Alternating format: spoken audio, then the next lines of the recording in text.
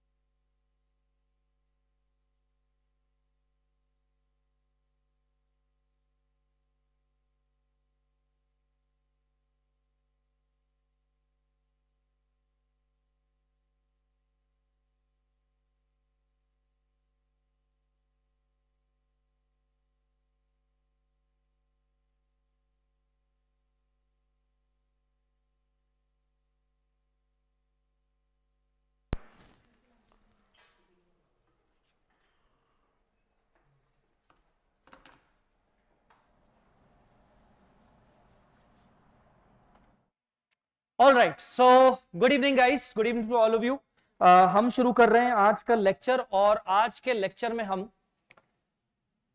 ESOP को complete करने वाले हैं, ठीक है? ईसॉप हमारा आज के लेक्चर में कवर अप होने वाला है। ईसॉप में हमारा एक ही छोटा सा पॉइंट बचा हुआ है that is that is what graded vesting yes graded vesting हमारा टॉपिक बचा हुआ है। और टॉपिक क्या है? टॉपिक नहीं है graded vesting basically graded vesting के ऊपर एक क्वेश्चन है वो है। बातें नहीं। बातें बिल्कुल नहीं। क्लास शुरू हो चुकी है अब बातें नहीं होनी चाहिए। ग्रेडेड वेस्टिंग एक नए टाइप का छो, छोटा सा एक अलग टाइप का कॉन्सेप्ट है। अलग टाइप का नहीं मतलब छोटा सा एक अभी तक हम जितने क्वेश्चंस कर रहे थे उससे थोड़ा सा डिफरेंट क्वेश्चन जाएगा। एक बार एग्ज़ाम में आ चुका है इसीलिए यस आई कैन से कि ये क्वेश्चन uh, इंपॉर्टेंट है। ठीक है? बट ग्रेडेड वेस्टिंग से भी पहले होमवर्क व्हाट अबाउट होमवर्क था क्या होमवर्क में क्वेश्चन कौन सा था? थर्टींथ डन हो गया? थर्टींथ हाँ? फोर्टींथ मैंने तो करवा दिया था फोर्टीन मैक्सिमम फोर्टींथ हाँ फिफ्टींथ फिफ्टीन दिया ही नहीं था मैंने। फिफ्टीन खुद ग्रेडेड वेस्टिंग का क्वेश्चन है एक्चुअली मतलब एक ग्रेडेड वेस्टिंग का क्वेश्चन मैं आपको आज करवाने वाला हूँ और फिफ्टीन फिर ग्रेडेड वेस्टिंग का क्वेश्चन है। तो ठीक है फिफ्टीन को तो टेंशन ही नहीं है।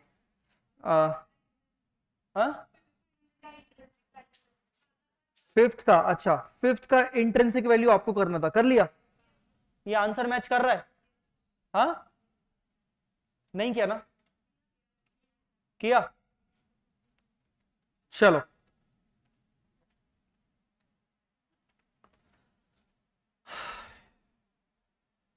Graded vesting. सुनिएगा ध्यान से बात को। अभी कॉपी वगैरह मत मत निकालिए मतलब कॉपी वॉपी की ज़रूरत नहीं है।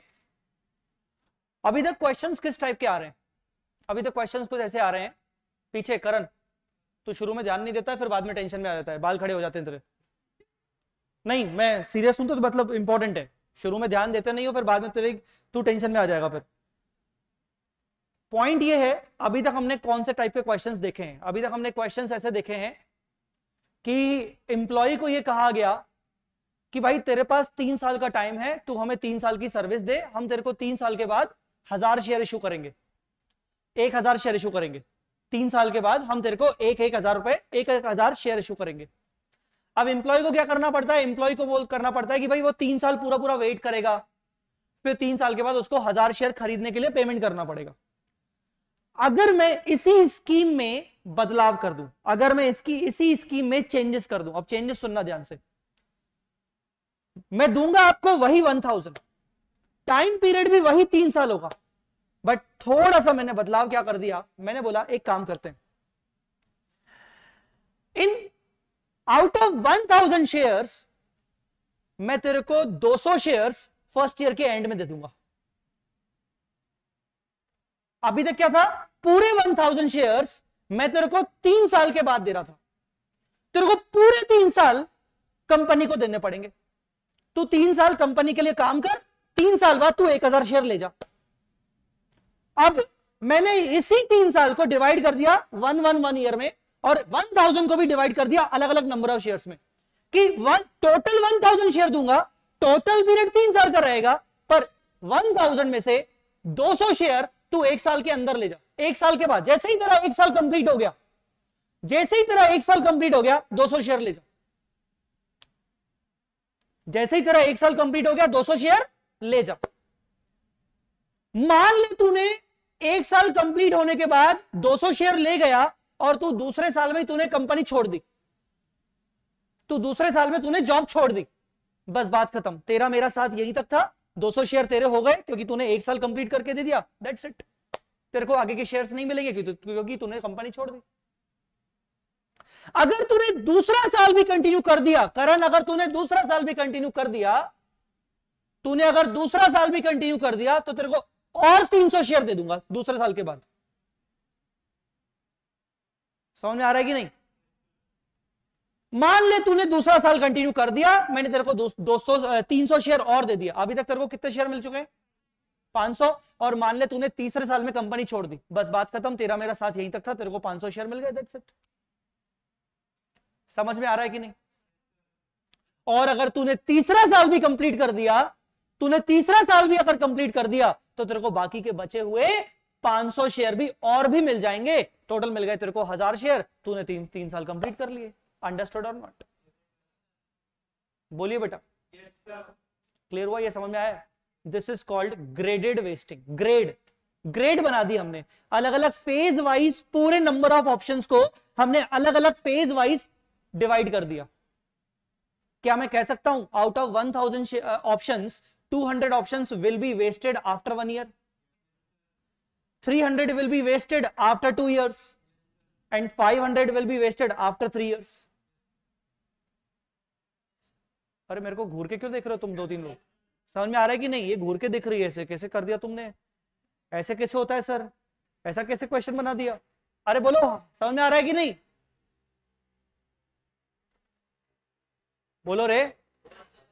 अगर मैं तुम्हें ये बोलूँ कि 1000 ऑप्शंस ऑप्शंस मतलब शेयर्स 1000 ऑप्शंस में से 200 ऑप्शंस का वेस्टिंग पीरियड वन ईयर रहेगा।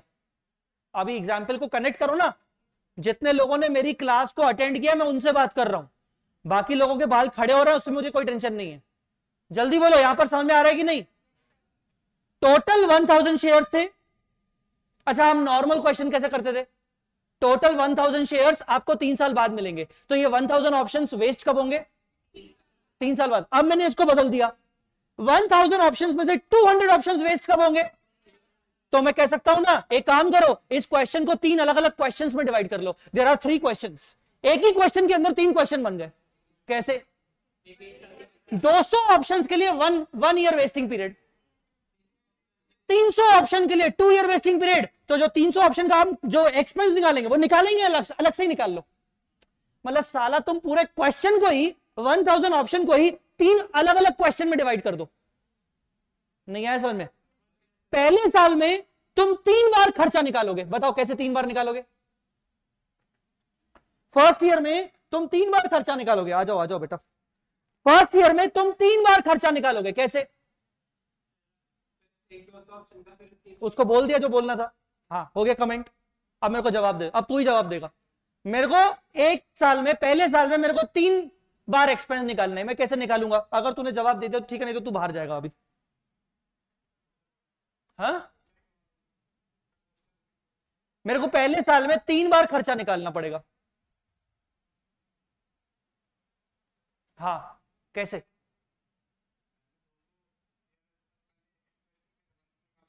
हाँ।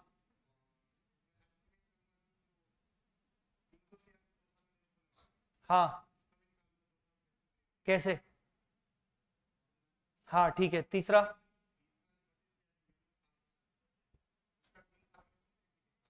वेरी गुड बहुत बढ़िया बहुत बढ़िया। साला किसी को प्रेशर में लेके आओ और आंसर पाओ यही अच्छा तरीका है। नहीं तो घंटा तुम आंसर तुम्हें मिलने वाला है। हाँ, आ, प्रेशर में लेके आओ उसको। नहीं तो अभी तू सच्ची में अगर आंसर नहीं देता ना तूने जो कल टिकटॉक वाला वो जो वीडियो बनाया था आ, मैं उसको टिकटॉक बोल रहा हूँ जानबूझ के आ, हाँ, मैं तेरे से फिर से बनवाता वो। चलो जल्दी। फ़र्स्ट ईयर में मैंने एग्ज़ाम्पल को मैं रिपीट कर रहा हूँ। वन थाउज़ेंड ऑप्शंस 1000 ऑप्शंस में से मैं आपको 200 ऑप्शंस कब दूँगा? आफ्टर वन ईयर हा? 300 ऑप्शंस में आपको कब दूँगा? हा? आफ्टर टू ईयर्स और बाकी के बचे हुए 500 शेयर्स में आपको कब दूँगा? आफ्टर मैं कह रहा हूँ इस क्वेश्चन को तीन डिफरेंट क्वेश्चंस में डिवाइड कर लो। आप ऐसा सोचो कि 200 ऑप्शंस के लिए सिर्फ़ वेस्टिंग पीरियड होता ही कितना है? एक साल। 300 के लिए वेस्टिंग पीरियड कितना होता है? और 500 के लिए वेस्टिंग पीरियड कितना होता है? तो जब आप फ़र्स्ट ईयर का एक्सपेंस निकालोगे फ़र्स्ट ईयर का एक्सपेंस निकालोगे तो आप 200 ऑप्शंस के लिए डिवाइड बाय क्या करोगे? हाँ? अभी आपका पहला क्वेश्चन सॉल्व हो गया। मैंने बोला तीन क्वेश्चन हो गए। आपके पहले साल में इन तीनों क्वेश्चन के डिफरेंट डिफरेंट एक्सपेंस निकलेंगे ना।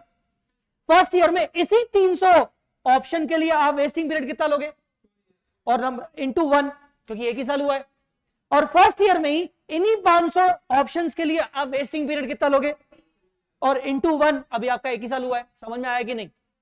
बोलो बेटा, आपका पूरे तीन साल का पूरा एक साल का तीनों में से खर्चा निकल जाएगा। समझ आया कि नहीं? एक सेकेंड रुक जाना भाई, मैं अभी कंप्लीट नहीं हुआ हूँ। बीच में नहीं रोकने का रोकने का।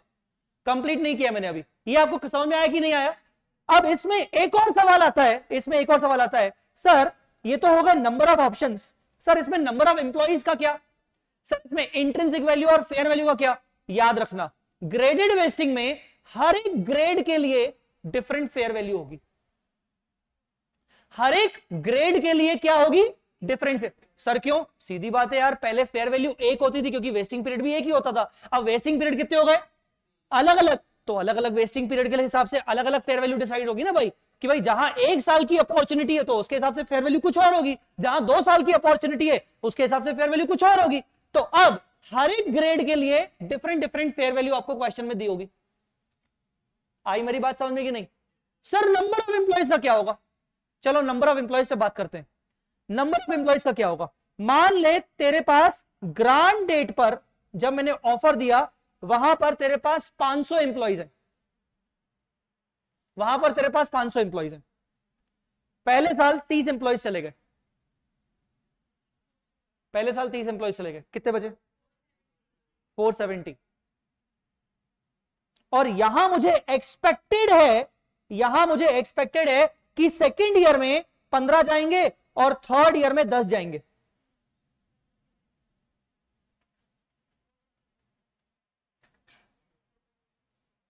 कुछ लोग कैलकुलेटर का उपयोग कर रहे हैं और कुछ लोग अभी भी ऐसे बैठे हुए हैं। जल्दी करो सब। तीनों साल का एक्सपेंस चाहिए मेरे को। कैसे निकालोगे? सबसे पहले फ़र्स्ट ईयर 200 हंड्रेड इंटू कितने कितने इंप्लॉइज क्या मैं कह सकता हूँ कि पहला वाला 200 हंड्रेड ऑप्शन जो हुआ, वो 470 सेवेंटी इंप्लॉइज को वेस्ट हो चुका है। 470 सेवेंटी इंप्लॉइज को क्या हो गया? वेस्ट हो गया। हाँ? और फ़र्स्ट ईयर में ही हमने क्या बोला? 300 options into number of employees क्या होगा? याद रखना, दूसरे वाले क्वेश्चन के लिए टोटल वेस्टिंग पीरियड कितना है? हा? मतलब यहाँ पर इस क्वेश्चन में एक एक क्वेश्चन ये है, एक क्वेश्चन ये है और एक क्वेश्चन ये है। तो मुझे बताओ सेकंड वाले के लिए वेस्टिंग पीरियड टू इयर्स वाले के लिए आप एम्प्लॉयज़ कितना लोगे? 470 तो आज ही है। और ऐसा लगता है कि कितने जाएँगे? पंद्रह जाएँगे। तो आप आज ही क्या बोलोगे? फोर? Fifty five. आई बात समझ में कि नहीं? और तीसरे वाले के लिए लगता है कि दस और जाएँगे। तो यहाँ पर क्या होगा? फोर? Forty five. समझ में आया कि नहीं? बोलिए बेटा। I am just want I just want to say कि ग्रेडेड वेस्टिंग में एक ही इंप्लॉई को कहा गया कि हम तेरे को जो टोटल ऑप्शंस दे रहे हैं, उसको हम पार्ट्स पार्ट्स में डिवाइड कर रहे हैं। जहाँ मैं तेरे को वन थाउज़ेंड शेयर्स पूरे के पूरे तीन साल के बाद देने वाला था, अब मैं तेरे को वही one thousand shares parts parts में दूँगा। तो कोई बात नहीं, आप हर एक पार्ट को एक सेपरेट क्वेश्चन मान लो। हर एक पार्ट को एक सेपरेट क्वेश्चन ट्रीट करो, सिंपल, आपका पूरा मतलब एक ही क्वेश्चन में आपके तीन क्वेश्चन या दो, जितने भी क्वेश्चन, पार्ट्स डिवाइड होंगे, आप मान लो तीन पार्ट्स डिवाइड हो रहे हैं तो आपके तीन डिफरेंट क्वेश्चंस बन जाएँगे, और आप जैसे नॉर्मली क्वेश्चन सॉल्व करते हो, वैसे के वैसे सॉल्व करोगे। बात आ रही है आपको समझ में कि हाँ? ट्राई करें एक बार क्वेश्चन।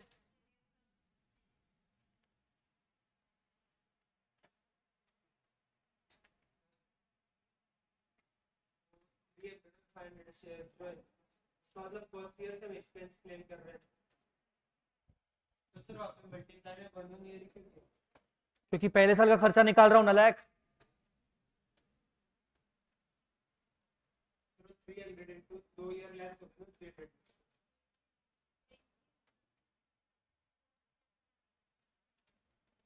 चलो मैं पहले एग्ज़ाम्पल करवा रहा हूँ क्योंकि मैं डायरेक्ट अगर क्वेश्चन पे जाता तो दिक्कत हो जाती। मैं नहीं चाह रहा हूँ कि ऐसे डाउट्स ज़्यादा जनरेट हो। तो पहले अपन एक काम करते हैं क्वेश्चन से एग्ज़ाम्पल से शुरू करते हैं। ध्यान से सुनना बेटा। एग्ज़ाम्पल लिखो। यही एग्ज़ाम्पल लिखवा रहा हूँ, जो मैंने अभी आपके साथ डिस्कस किया, यही एग्ज़ाम्पल लिखवा रहा हूँ। ऊपर हेडिंग डाल दो graded vesting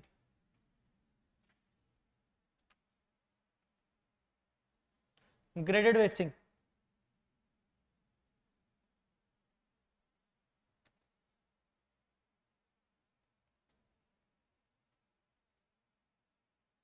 total employees 500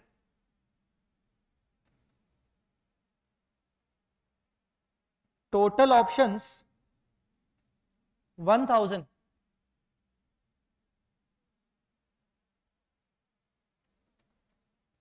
which will be wasted in parts after first year service पहले साल की सर्विस के बाद after second year service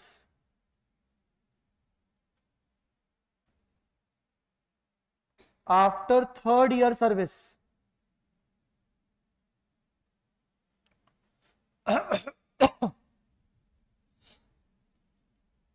number of options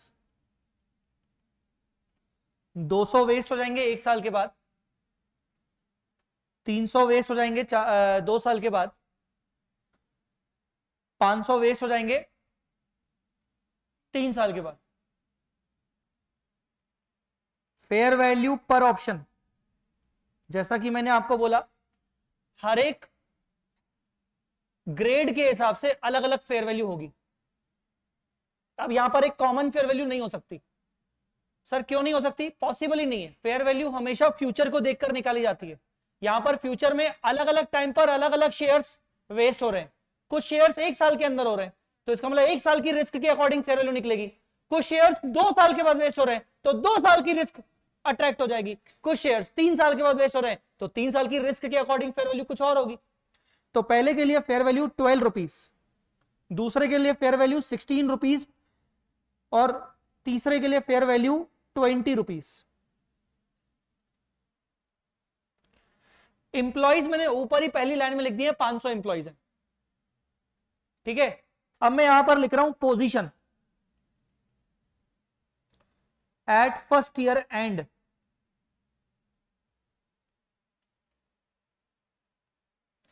position at first year end position end first year end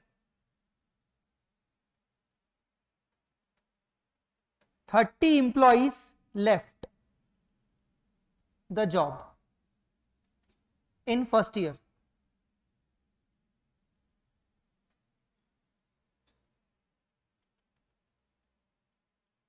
Expected to leave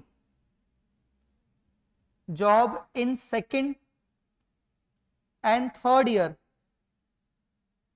are 25 and 18 25 and 18 position at second year.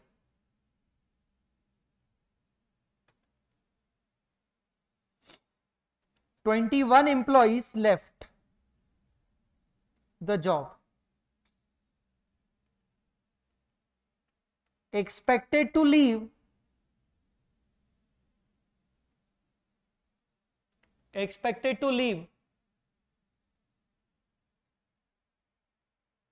15 in third year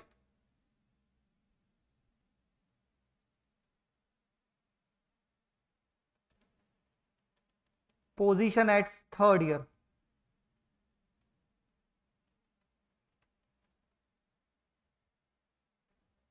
seventeen employees left the job मैंने एक और चीज़ है जो जानबूझ के अभी इसमें नहीं लिखवाई है। इसलिए मैंने बीच में थोड़ी सी जगह छोड़ी है। अगर आपने छोड़ी तो ठीक है, नहीं छोड़ी तो इसके लिए ज़्यादा कोई जगह लगेगी नहीं। मैं वो बाद में आपको डिस्कस करूँगा। पहले मैं बेसिक्स आपके साथ डिस्कस कर लूँ। मैं कह रहा हूँ कि ये क्वेश्चन ग्रेडेड वेस्टिंग का है। समझ में आ रहा है, देख के ही समझ में आ रहा है कि नहीं? कैसे समझ में आ रहा है देख के? अलग अलग फेयर वैल्यूज़ है। या फिर एक टोटल ऑप्शंस को ही बांट दिया गया है कि इसमें से एक साल के बाद इतने, दो साल के बाद इतने, तीन साल के बाद इतने। ठीक है? मैं कह रहा हूँ कि इस एग्ज़ाम्पल को सब डिवाइड कर लो तीन डिफरेंट एग्जाम्पल्स में। क्या बोलते हो? इस एग्ज़ाम्पल को कितने एग्जाम्पल्स में डिवाइड कर दो तीन एग्जाम्पल्स में। अब जब तुम फ़र्स्ट ईयर का एक्सपेंस निकालोगे, जब तुम फ़र्स्ट ईयर का एक्सपेंस निकालोगे तो फ़र्स्ट ईयर के एक्सपेंस निकालने के लिए तुम्हें एग्ज़ाम्पल वन सॉल्व करना है एग्ज़ाम्पल टू सॉल्व करना है एग्ज़ाम्पल थ्री सॉल्व करना है। सोचो, ध्यान से सोचो, मैं क्या बोल रहा हूँ? फ़र्स्ट ईयर का एक्सपेंस निकालते वक्त तुम्हें क्या सॉल्व करना है? तुम्हें तीनों एग्ज़ाम्पल सॉल्व करने सेकेंड ईयर का एक्सपेंस निकालते वक्त तुम्हें सेकंड और थर्ड एग्ज़ाम्पल सॉल्व करना है क्योंकि फ़र्स्ट एग्ज़ाम्पल खत्म हो चुका है। उसका एक ही साल था। नहीं है समझ? में सेकेंड ईयर का एक्सपेंस निकालते वक्त तुम्हें सेकेंड और थर्ड एग्ज़ाम्पल सॉल्व करना है। और थर्ड ईयर का थर्ड ईयर का एक्सपेंस निकालने के लिए तुम्हें सिर्फ़ थर्ड एग्ज़ाम्पल को ही सॉल्व करना है। समझ में आ रहा है कि नहीं? हाँ? और अगर इससे भी नहीं समझ में आ रहा तो इससे और और इजी एक काम करो, तीन टाइमलाइन बनाओ। अभी तक हम क्या कर रहे थे? एक ही टाइमलाइन बना रहे थे ना? अब हम तीन टाइमलाइन बनाएँगे। सर, तीन टाइमलाइन क्यों, सर? तीन एग्ज़ाम्पल से भाई। पहला टाइमलाइन क्या कहता है? मान लो तुम्हारा ग्रांड डेट है एक चार दो हज़ार इक्कीस। चलो, ये ग्रांड डेट है। जल्दी बोलो। अब बोलो। वन फोर ट्वेंटी वन से लेकर thirty first March twenty two. बोलो ना यार। और यहाँ पर इंप्लॉइज कितने थे रे? 500 कितने छोड़े? 30 और कितने यहाँ पर? कितने बचे? वेस्टेड टू कितने, कितनों को वेस्ट हो गया? क्योंकि ये वेस्टिंग डेट है ना 31 मार्च क्या है? 31 मार्च 2022 क्या है? वेस्टिंग डेट सर ये वेस्टिंग डेट क्या होती है? कौन सा पीरियड एक्साइज पीरियड की वेस्टिंग पीरियड वेस्टिंग डेट जिस दिन पीरियड खत्म हो गया, जिस दिन इंप्लॉय एलिजिबल हो गया। कितने इंप्लॉय एलिजिबल हो गए? फ़र्स्ट वाले एग्ज़ाम्पल में कितने इंप्लॉयज एलिजिबल हो गए? इसको अलग तरीके से। 470 सेवेंटी इंप्लॉइज एलिजिबल हो गए 200 शेयर के लिए। चलो कोई रिएक्शन ही नहीं है। दिमाग की दही कर रहे हो तुम लोग। 470 इंप्लॉयज एलिजिबल हो गए 200 शेयर के लिए। बोलो हाँ या ना। हाँ? हाँ क्या? अच्छा दूसरे वाले को देखते हैं। ग्रांड डेट क्या है? अगेन एक चार दो हज़ार इक्कीस। अरे तुम्हारी। हाँ वेस्टिंग डेट क्या है? Thirty first March? बोलो बाईस। Twenty three. दो साल है इसमें। एग्ज़ाम्पल ही दूसरा हो गया ना यार, एग्ज़ाम्पल ही बदल गया। एग्ज़ाम्पल ही बदल गया। इस एग्ज़ाम्पल के अकॉर्डिंग स्टार्टिंग में इंप्लॉइज है तो 500 सौ। लेफ़्ट कितने हुए? पहले साल तो तीस ही हुए तो यहाँ कितने बचे? पर चार सौ सत्तर को अभी वेस्ट नहीं हुआ, ये दो साल है इसमें। यहाँ पर चार सत्तर को भी वेस्ट नहीं हुआ, ये तो अभी दूसरा साल अभी चलेगा। बोलो बेटा। और यहाँ एक्सपेक्टेड टू लीव कितना है? अरे, इकतीस मार्च बाईस को एक्सपेक्टेड टू लीव कितना है? ट्वेंटी फाइव समझ आया कि नहीं? फिर अगले साल एक्चुअली कितने गए? 21 तो ऑप्शन कितनों को वेस्ट हुआ? Vested two four forty nine.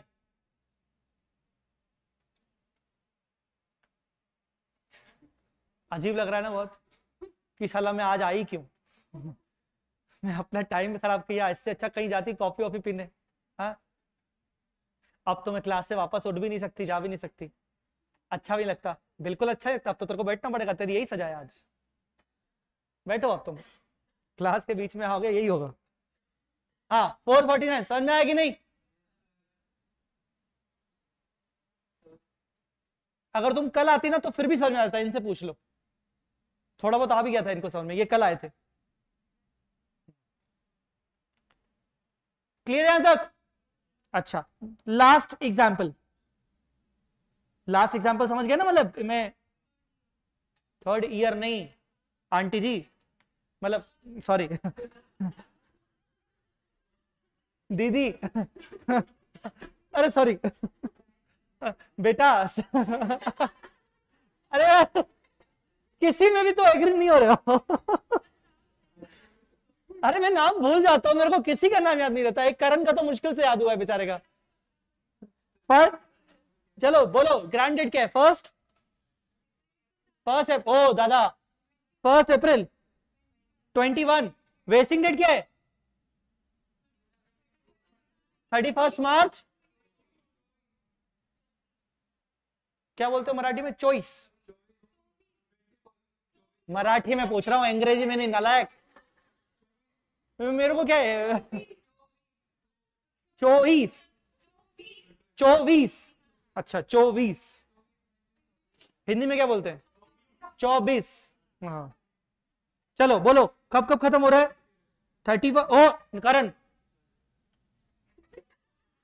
कोई भी मस्ती करेगा, डांट तू खाएगा। Thirty first March twenty two और thirty first March twenty three total employees कितने वही पाँच सौ। लेफ़्ट कितने हुए? थर्टी लेफ़्ट कितने हुए? ट्वेंटी वन एक सेकेंड यहाँ एम्प्लॉय कितने बचे? फोर सेवेंटी यहाँ एम्प्लॉय कितने बचे?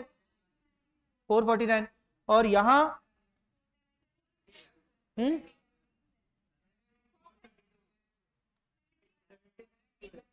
लेफ़्ट क्या है? सेवनटीन। वेस्टेड किसको हुआ? कितने को हुआ? Four thirty two. अभी बचा हुआ है। एक्सपेक्टेड टू लीव कितना था? दूसरे और तीसरे साल का। दूसरे और तीसरे साल का। एटीन और फिफ्टीन। सेकेंड और एक्सपेक्टेड टू लीव बोला था ना मैंने यहाँ। ट्वेंटी फाइव और एटीन उल्टा हो गया ना? गड़बड़ हो गया। ट्वेंटी फाइव और एटीन और यहाँ एक्सपेक्टेड टू लीव कितना है? Expected to leave in third year कितना? फिफ्टीन चलो, ये तीन क्वेश्चन बन गए।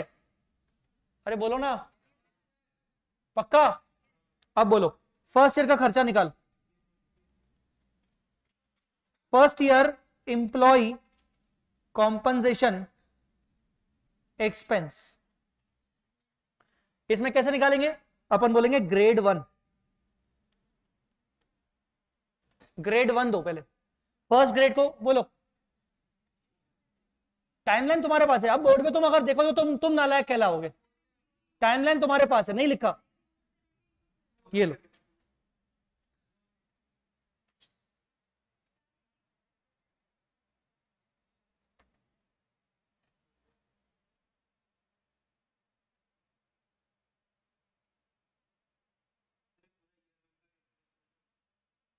मैं जो पूछू ना, मुझे वो आप अपने हिसाब से मत सोचो अभी। मेरे मेरे पॉइंट ऑफ़ व्यू से, नजरे से देखो बस। जो मैं पूछू, उसका जवाब दोगे तो अपने आप एंड में कंक्लूजन सामने आ जाएगा। पर अगर तुम अपनी थॉट प्रोसेस से क्वेश्चन पूछोगे तो फिर अटके रहोगे। इसीलिए जो सर पूछ रहे ना, उसका आंसर करते रहो, समझ में आ जाएगा। चलो, मुझे बताओ ग्रेड वन को मैं कैसे सॉल्व करूँ? ग्रेड वन में कितने इंप्लॉइज एलिजिबल हो गए? 470 इनटू अच्छा मैंने नंबर ऑफ़ ऑप्शन हाँ नंबर ऑफ़ ऑप्शन तो दिया हुआ है। कितने ऑप्शन है इनको? वन थाउज़ेंड किसने बोला रे? करण? मैंने बोला ना, कोई भी वो करेगा तो तेरे को डांटूँगा मैं।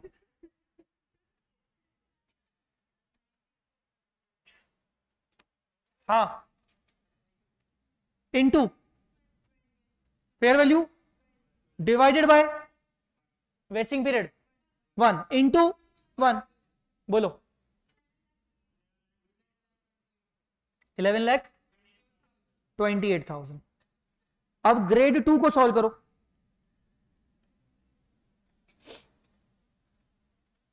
ग्रेड टू को सॉल्व कर रहा हूँ, सेकंड ईयर को सॉल्व नहीं कर रहा हूँ। थोड़े उलझन हो जाती है बोलने बोलने में। ग्रेड टू सॉल्व कर रहा हूँ, सेकंड ईयर सॉल्व नहीं कर रहा हूँ। मैं निकाल रहा हूँ फ़र्स्ट ईयर का एक्सपेंस। नहीं नहीं, ऐसे थोड़ी चलता है दीदी। पूरा बताओ। टेन सिक्सटी एट कैसे आया? 500 एम्प्लॉय है स्टार्टिंग में। कितने गए? तीस गए? सेकेंड ईयर में और कितने जाएँगे? सेकेंड ईयर में कितने और जाएँगे? ऐसा मेरा अनुमान आज फ़र्स्ट ईयर के एंड में कितना है? टाइमलाइन देख लो यार। टाइमलाइन में लिखा हुआ है। हाँ? ट्वेंटी फाइव पच्चीस लोग जाएँगे, ऐसा मेरा अनुमान है। ग्रेड टू को टू हंड्रेड ऑप्शन है ही नहीं। ग्रेड टू में तीन सौ ऑप्शन है।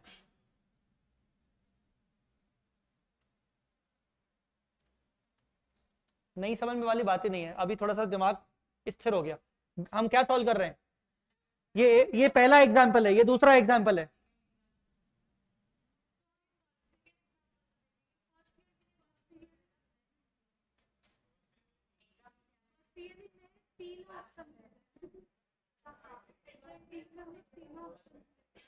मैं जानबूझ के कुछ नहीं बोल रहा हूँ, अभी आप खुद से पहले सवाल पूछो। आराम से देख लो।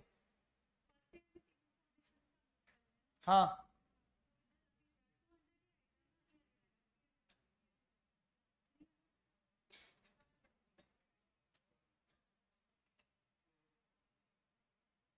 बेटा क्वेश्चन तो पढ़ना बेटा। तू बस यही को सोचेगी कि मैं उलझ गई तो फिर दिक्कत हो जाएगी। तू क्वेश्चन तो पढ़। क्या मैं समझाने को तो समझा लूँ, पर मैं ही समझाऊँगा पर वापस से तेरा कौन सा वापस से क्लियर नहीं होगा तो मतलब क्या है? खुद ताकत लगानी पड़ेगी ना दिमाग में।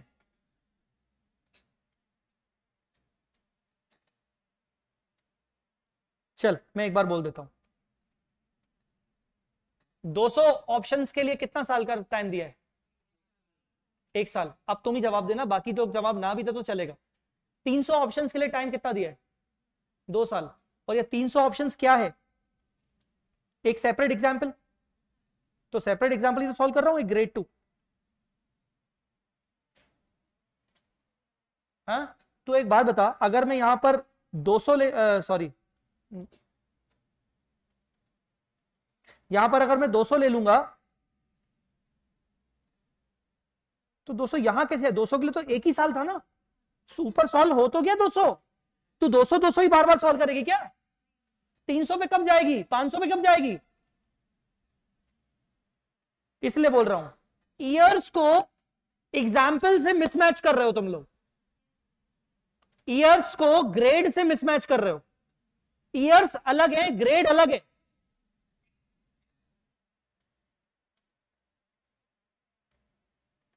कितने ऑप्शंस लूँगा इधर? 300 इन 300 ऑप्शंस को का फेयर वैल्यू कितना है? 16 और इनके लिए टोटल टाइम कितना दिया गया है? पर मैं कौन से ईयर का एक्सपेंस निकाल रहा हूँ? यही मैं बोलना चाह रहा हूँ। हम बार बार उलझ रहे हैं। हम फ़र्स्ट ईयर का एक्सपेंस निकाल रहे हैं तीनों एग्जाम्पल्स के लिए। फ़र्स्ट ईयर का एक्सपेंस तीनों एग्ज़ाम्पल के लिए। हाँ। डाउट था ना? इनटू कितने साल हो चुके हैं? एक साल। Ten lakh sixty eight. Ten lakh sixty eight thousand. अब एक और ग्रेड सॉल्व करनी है, कौन सी ग्रेड थर्ड ग्रेड मतलब थर्ड एग्ज़ाम्पल सॉल्व करना है। पर ईयर कौन सा है? एक ही चल रहा है, पहला ही साल चल रहा है। थर्ड ग्रेड में वापस से 500 एम्प्लॉय थे हमारे पास। पहले साल कितने गए? 30 हम फ़र्स्ट ईयर के एंड में खड़े हैं। दूसरे साल कितने जाने का अनुमान है? 25 तीसरे साल कितने जाने का अनुमान है? 18 इनटू नंबर ऑफ़ ऑप्शन क्या करेंगे? थाउज़ेंड कर लेंगे। थाउज़ेंड करेंगे।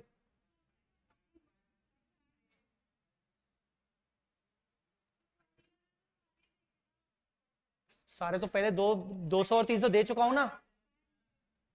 दो सौ, तीन सौ तो दे चुका हूँ ना। वो तो बहुत कंफ्यूजिंग है तो सीए इंटर का ग्रुप टू है। We don't have any choice this is the difference between accounts and advance accounts why the word is advanced are you have to understand कभी भी ऐसा फील आना कि सर बहुत टफ आ जा रहा है, वो सब जा रहा है। तो बोलना कि मैं बीकॉम थोड़ी कर रही हूँ। मैं सीए कर रही हूँ। इतना तो मैं सोच के आई थी जब मैं सीए कर रही थी तो मेरे को चार लोगों ने वैसे ही डरा दिया था। तो बहुत टफ है। नहीं होता कोई पास। बोलो। 500 फेयर वैल्यू कितना है? 20 इसके लिए तीन साल दिए। पर हुआ कितना साल है? हाँ बोलो। 14 lakh? 20,000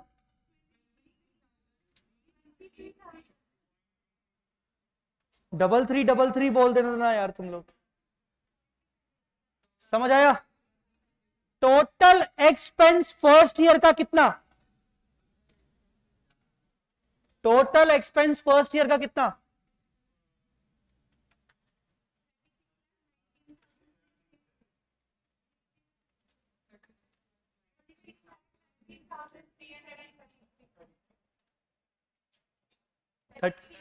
Thirty thirty six lakh, nineteen thousand. Entry बोलो इसकी। Employee compensation debit to us नहीं। हाँ सही है एडवांस लेवल के क्वेश्चन आए थे तो अपने आप शब्द बदल जाते हैं।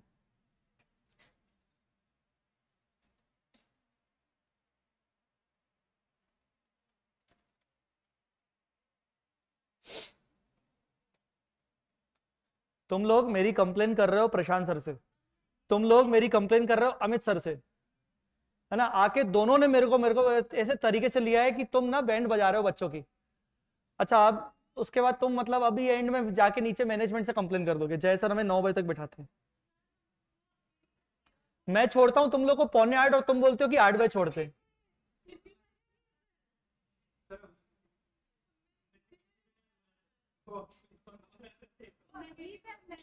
अमित सर से भी आपने बोला।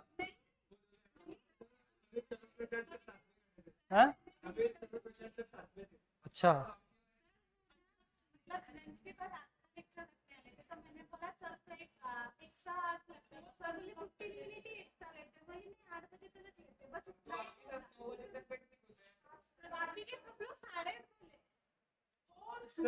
तुम लोगों की ऐसी तैसी बाकी सब लोग साढ़े आठ बजे बोले।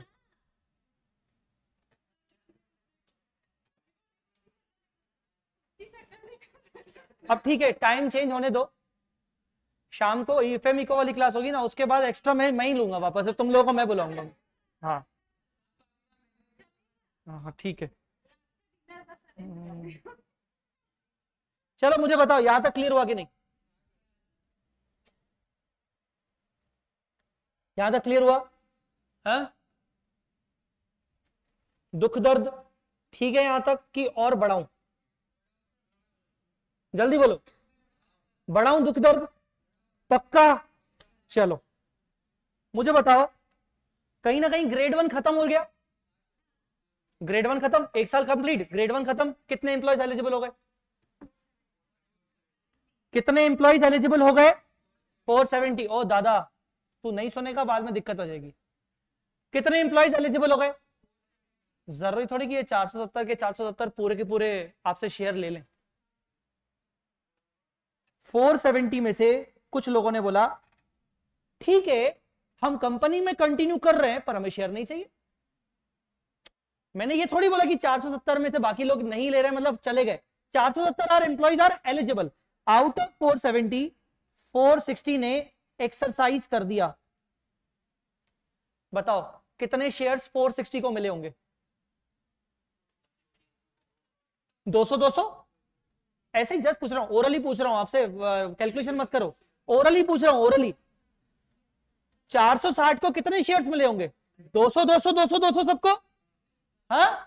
जबकि तुमने प्रोविज़न कितने के हिसाब से बनाया? तुमने प्रोविज़न कितने के हिसाब से बनाया? इसका मतलब तुम्हें कितने के हिसाब से रिवर्स करना पड़ेगा? हाँ? और तुमने ये प्रोविज़न 470 के हिसाब से जब बनाया था तो कितना बनाया था? 1128 था 470 के हिसाब से। बोलो बेटा। अब तुम उसमें से 460 लोग क्या कर रहे हैं? शेयर मांग रहे और 10 लोग क्या कर रहे हैं? तो उसको रिवर्स करना पड़ेगा। तो मुझे बताओ, ये तो तुमने एंट्री कर दी अभी वाली। अरे बोलना। ठीक है, इस एंट्री के साथ साथ तूने ये एक और एंट्री कर दी P and L account debit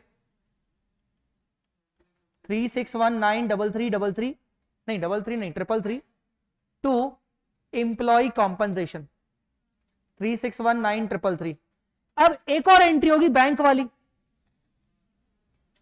बोलो बेटा। एक काम करता हूँ, पहले बैंक वाली नहीं, पहले जनरल रिज़र्व वाली एंट्री करते हैं।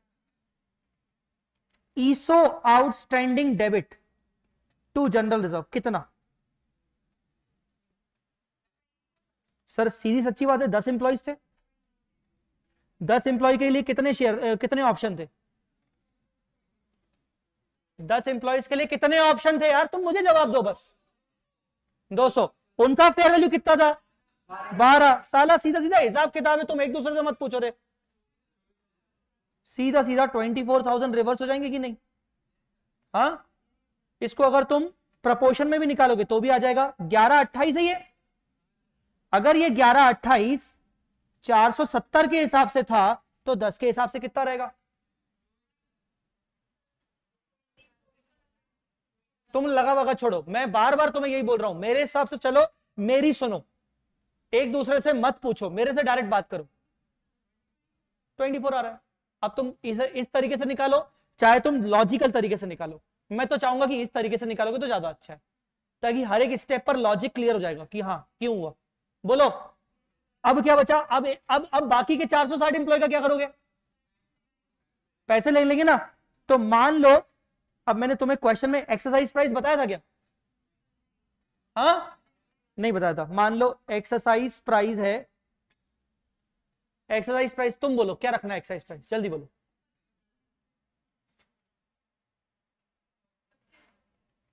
एक्सरसाइज प्राइस बोलो, क्या रखना है? पच्चीस।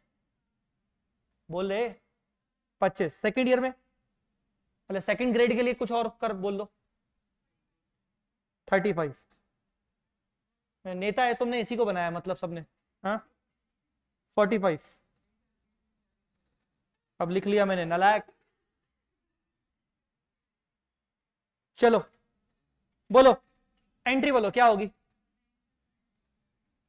पैसा आया बैंक अकाउंट डेबिट पैसा आया बैंक अकाउंट डेबिट कितना? कायदे से 460 एम्प्लॉयज़ थे। हर एम्प्लॉय को कितने कितने शेयर 200 200 शेयर हर एक एम्प्लॉय से कितने कितने रुपए लिए? पच्चीस रुपए लिए। ट्वेंटी थ्री लाख ठीक है? ईसो आउटस्टैंडिंग कितना रिवर्स करूँगा?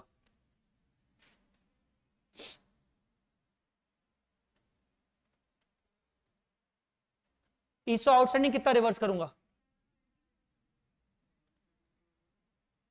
ईसो आउटस्टैंडिंग कितना डेबिट करूँगा? मैं बोलो है मैं मैं मैं बोल मैं, मैं बोलता हूँ। टोटल ईसो आउटस्टैंडिंग कितना था? Thirty six lakh. उसमें से चौबीस ऑलरेडी रिवर्स हो गया। है? बाकी का कर दू रिवर्स बोलो हाँ। टोटल थर्टी सिक्स लैख में ग्रेड टू और ग्रेड थ्री पड़े वो अभी वेस्ट ही नहीं हुए अरे सीधा हिसाब। कितना था? ग्यारह? अट्ठाईस। ग्यारह, अट्ठाईस था ना? उसमें से चौबीस चला गया।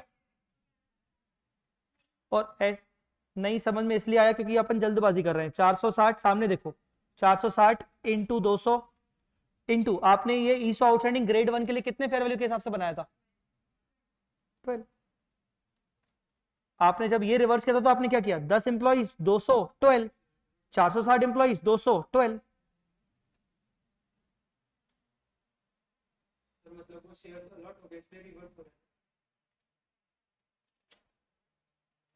इधर मैंने क्या किया? दस इंप्लॉइज दो सौ ऑप्शन ट्वेल्व इधर क्या किया? बाकी चार सौ साठ इंप्लॉइज दो सौ ट्वेल्व कितना आया? ग्यारह, two. Equity share capital to securities premium कितना?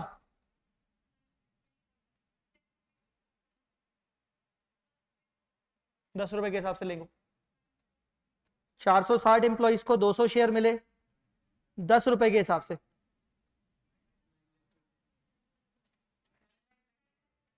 Nine lakh twenty. बाकी का बैलेंसिंग फिगर हाँ। बोलो। Twenty four lakh eighty four thousand clear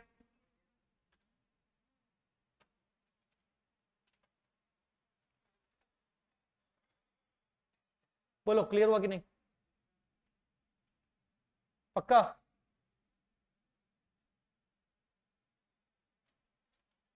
ईसो outstanding का लेजर बना के दो फ़र्स्ट ईयर का।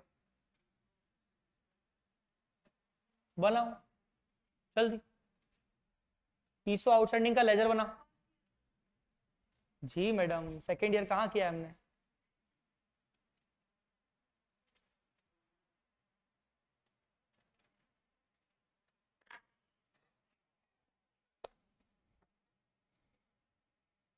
बहुत भारी जा रहे हैं ना ये से?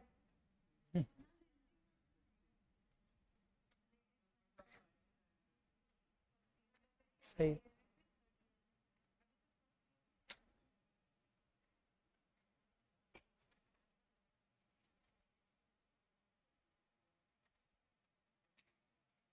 मैं तो इन दोनों का सोच रहा हूँ, जो आज पहली बार बैठे हैं, उन लोगों को क्या हो रहा होगा? ये लोग सोच रहे होंगे, पढ़ना ही नहीं है जय चावला से हमें। पढ़ना ही नहीं है चलो।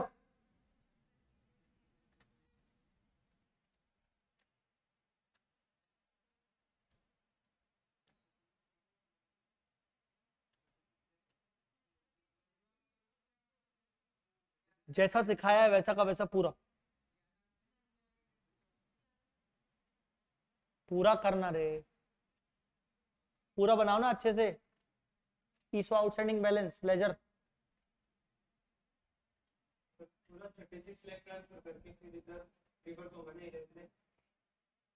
confirm मत कर। मैंने तेरे को बनाने को बोला मैं जब बनाऊँगा तब चेक कर लेना।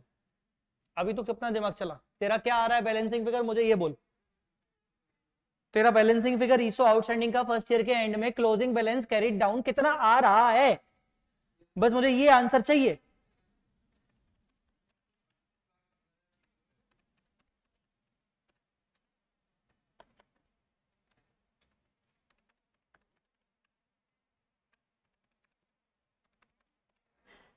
गलत आ रहा है।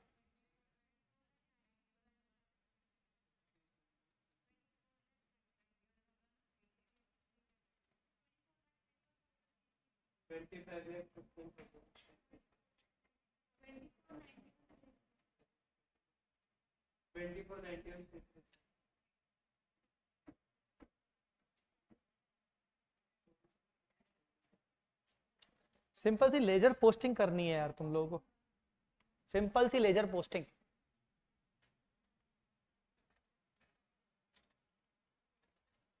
ESO outstanding. चलो, बोलो क्या क्या लिखेंगे सबसे पहले बाय हज़ार।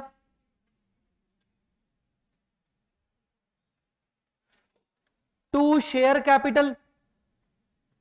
To securities premium. By bank. Share capital 920 bank 23 premium 2484 closing balance कितना आ रहा है? To balance carried down 24 lakh 91,333 एक क्रॉस चेक पॉइंट बताऊँ अपना, आपका क्वेश्चन आपका आंसर सही है कि नहीं? ये क्लोजिंग बैलेंस आपके सेकंड और थर्ड ईयर के बराबर आना चाहिए।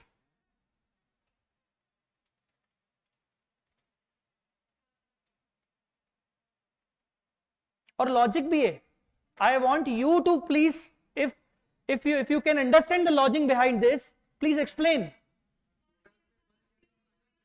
sir first year तो वेस्ट हो गया।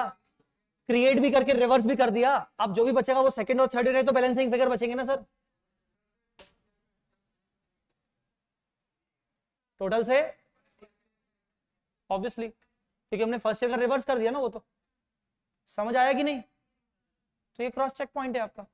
मतलब आपका जो ईसो आउटस्टैंडिंग बचा हुआ है बैलेंस कैरी फॉरवर्ड वो कौन सी ग्रेड का बचा हुआ है? सेकंड और थर्ड ग्रेड का बचा हुआ है। मतलब 300 ऑप्शन और 500 ऑप्शन का बचा हुआ है। 200 ऑप्शन तो वेस्ट हो गए। समझ में आया कि नहीं? क्लियर हुआ?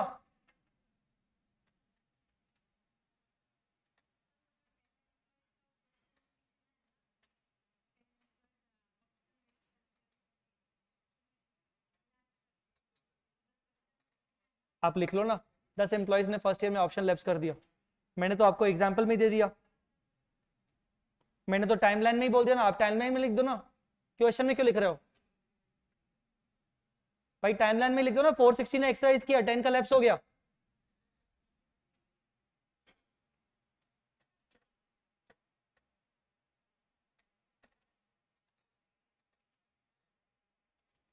चलो ग्रेड टू और ग्रेड थ्री ग्रेड टू में 449 में से,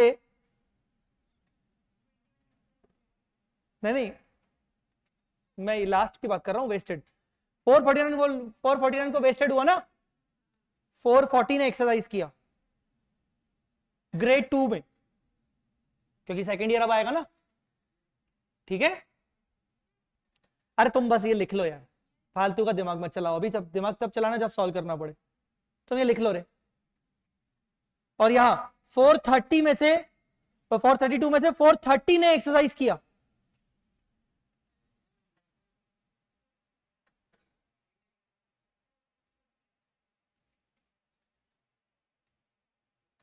चलो फ़र्स्ट ईयर का हो गया। अब हम बताओ सेकेंड ईयर में कितने एग्ज़ाम्पल सॉल्व करेंगे? अरे, कितनी ग्रेड सॉल्व करेंगे?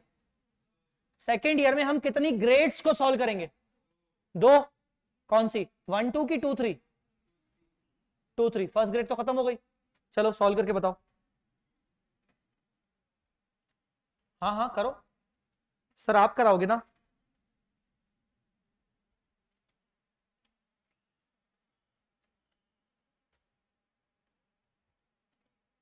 Second year expense. Second year expense.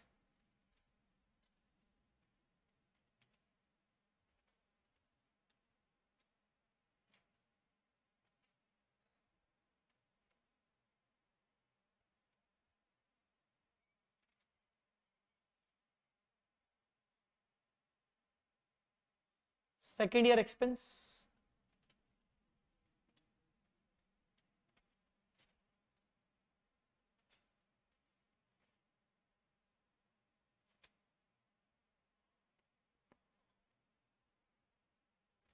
second year expense में ग्रेड टू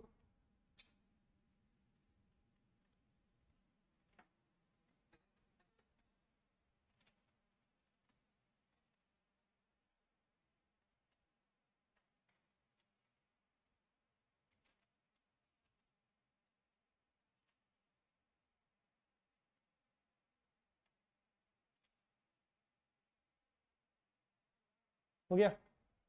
बोलो। वहीं से बताओगे फाइव हंड्रेड से? चलो, बताओ बताओ। फाइव हंड्रेड पहले साल कितने गए? थर्टी अब तो दूसरे साल भी चले गए? Twenty one grade two is for two years grade two is not for three years timeline आपको सेकंड वाली टाइमलाइन को सॉल्व देखते हुए सॉल्व करना है। आपको टाइमलाइन बना दी, आपको सब हाथ में रखते दे दिया। बस आपको अप्लाई करना है चीज़ों को। जब तुम ग्रेड टू सॉल्व करो तो तुम सेकंड टाइमलाइन को ध्यान में रखो। तुम सेकंड टाइमलाइन को देखते हुए सॉल्व करो। जबकि तुम जब ग्रेड थ्री सॉल्व करोगे तो तुम थर्ड वाली टाइमलाइन को देख के सॉल्व करना। सेकंड वाली टाइमलाइन क्या कहती है? सेकंड वाली टाइमलाइन क्या कहती है? सेकंड वाली टाइमलाइन कहती है कि भाई चार सौ सत्तर तो हमारे पास फ़र्स्ट ईयर के एंड में पढ़े थे। और सेकेंड ईयर के एंड में इक्कीस और चले गए तो फोर फोर्टी नाइन हो गए। सेकेंड वाली टाइमलाइन यही यही कहती है बस। हाँ इंटू तीन सौ की दो सौ। तीन सौ। इंटू फेयर वैल्यू कितना है? Sixteen divided by two into two minus minus पिछले साल फ़र्स्ट ईयर का ग्रेड टू का खर्चा कितना था? था ना पिछले साल फ़र्स्ट ईयर का ग्रेड टू का खर्चा? एक कसम सर। था ना? पक्का? सर ये चल क्या रहा है? सर ये क्या हो रहा है ये?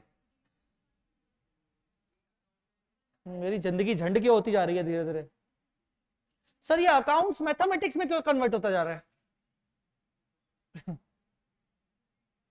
चलो, बोलो।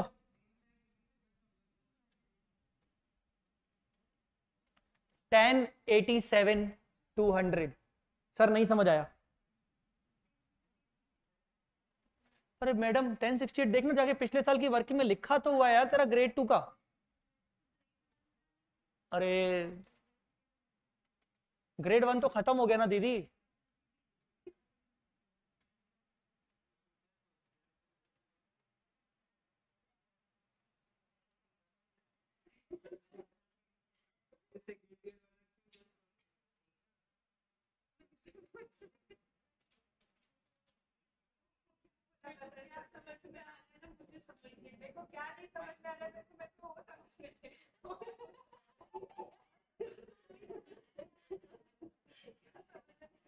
मुझे लगता है, क्या तेरे लिए वो जगह शुभ नहीं है? मैं सच्ची बोल रहा हूँ, मैं तेरे लिए, मैं तेरे को कल भी बोला था। तेरे लिए वो जगह शुभ नहीं है वो। वो सही नहीं है, गलत है तेरे लिए जगह। तू अपना वास्तु शास्त्र ठीक करवा रहे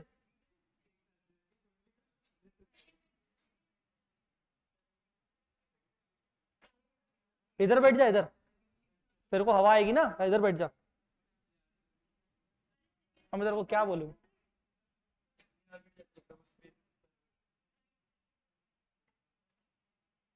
हाँ अब तेरे को जो नहीं समझ में आया, वो समझने के लिए तू मुझसे पूछ। यही बोला ना वो?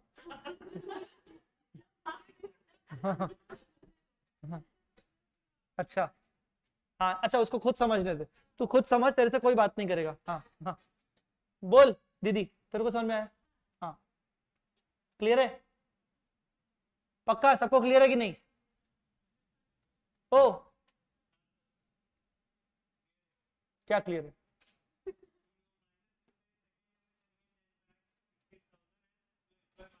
ग्रेड टू को आप फ़र्स्ट ईयर में ऑलरेडी बुक कर चुके थे। टेन लैक्स कहा गया यार? हाँ ten lakhs sixty eight thousand अब ग्रेड टू का सेकंड ईयर में आप ओवरऑल खर्चा क्यूमुलेटिव बुक करके माइनस फ़र्स्ट ईयर कर रहे हो। क्या इसमें साइंटिफिक प्रॉब्लम है क्या? कुछ भी नहीं होगा। सिंपल अब बताओ grade three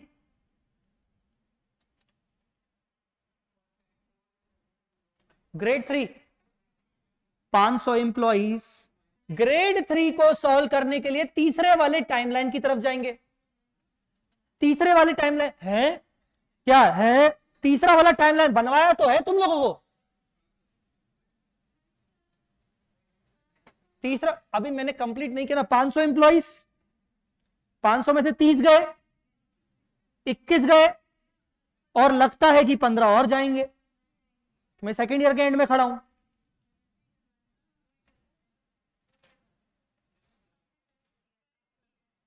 मुद्दा बस ये है कि तुम लोग मेरे को सुनना नहीं चाहते हो, आप मेरे हिसाब से। तुम लोग अपने हिसाब से मेरे को सुनना चाहते हो। और मैं शुरुआत कर रहा हूँ 500 से लेकर ही, कि नहीं, शुरू से ही मालूम पड़े। एक पूरा सीक्वेंस बने। मैं जानबूझ के बोल सकता हूँ कि हाँ four forty nine minus fifteen वो मैं नहीं करना चाह रहा हूँ, मैं धीरे धीरे कर रहा हूँ कि भाई 500 थे 30 पहले साल ही चले गए, दूसरे साल 21 चले गए, और 15 और जाएँगे। बोलो तीस गए, इक्कीस गए, पंद्रह और जाएँगे। कितना? Into three hundred three hundred three hundred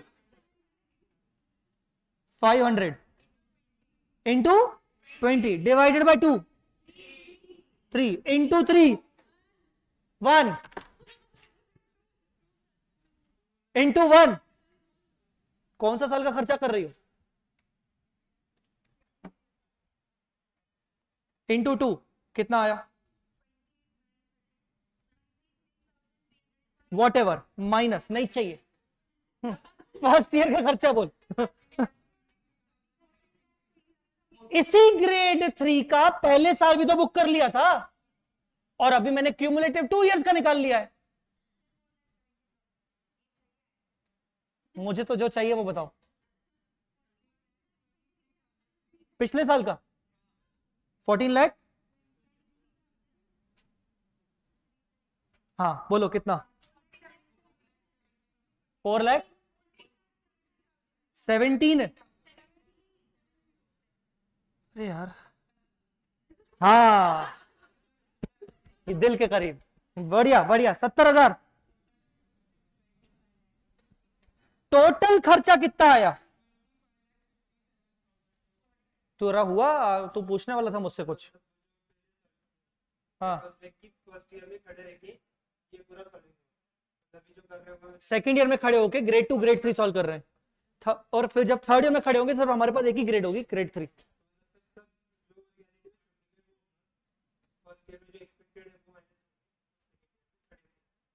देख, जगह चेंज की ना तूने, सही हुआ। मैंने तेरे को बोला। हाँ। संगति गलत थी। अब तू सही, मैं बोलना नहीं चाह रहा था तेरे को। तेरी संगति गलत थी वो। हाँ। तू रहने दे, तू मत सुन उनकी, छोड़। ए ए, इधर सुन सुन सुन। उनको कुछ भी बोले ना बोलना व्हाट है ठीक है? बोलो, जल्दी बोलो। बोलो। कोई एक व्यक्ति बोले ना। Twenty five fifty seven two hundred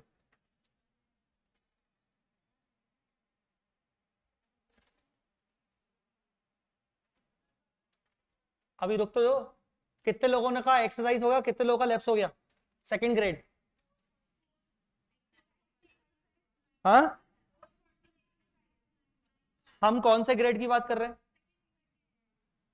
सभी लोग कैलकुलेटर उठाओ।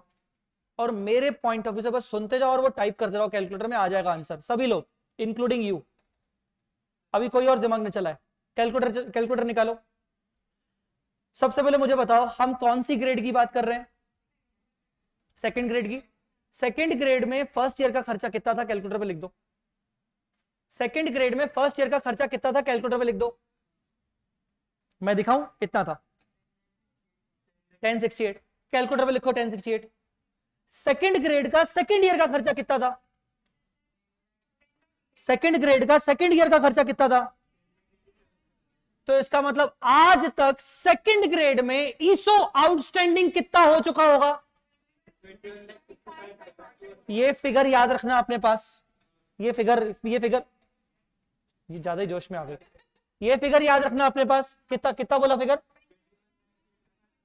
twenty one lakh fifty five thousand two hundred second grade का ओवरऑल ईसो आउटस्टैंडिंग टोटल कितने इंप्लॉइज के हिसाब से है ये? Final 449 449 I said final expense हमने सेकंड ईयर का 449 के अकॉर्डिंग बनाया. तो फिर से पूछ रहा हूँ टोटल एक्सपेंस सेकंड ग्रेड का आज तक कितना हो गया? 20 कैलकुलेटर में लिखा हुआ है कि नहीं? 21 lakh 55,200 this is for 449 divide by 449 divided by 449 ठीक है? कितने लोगों का लैप्स हो गया? Into nine forty forty three two hundred का क्या होगा? Entry ESO outstanding to G R simple आज तक तुमने ग्रेड टू में कितना बनाया? कितने हिसाब से बनाया? समझ आया कि नहीं? एक second twenty one lakh fifty five thousand two hundred था टोटल माइनस क्या बोले तुम फिगर माइनस ये ये रिवर्सल ये जी आर फोर्टी थ्री करो minus twenty one lakh fifty five thousand two hundred में से forty three two hundred minus करो। Twenty one lakh twelve thousand कितने इंप्लॉइज का है? Twenty one lakh twelve thousand कितने इंप्लॉइज का है? फोर फोर्टी जिनको शेयर इशू कर रहे हैं। तो ये twenty one lakh twelve thousand bank वाली एंट्री में रिवर्स हो जाएगा। बैंक वाली एंट्री में जाएगा ईसो करो दोनों एंट्रीज ये जो करना है करो। जो करना है करो तो को बस एंट्री करो। एंट्री कर दो।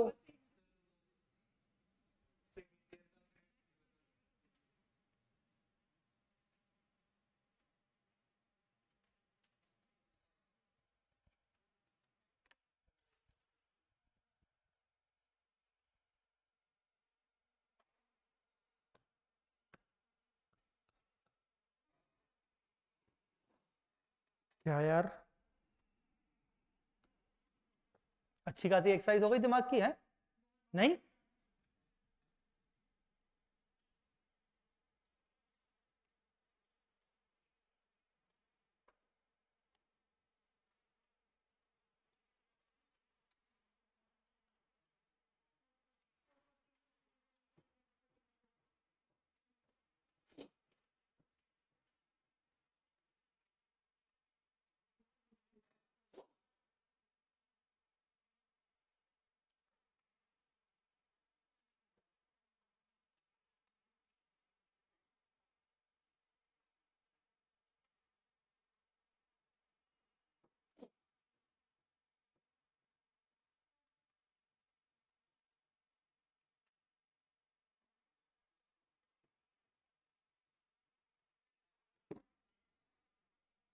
बना एंट्री कर दी।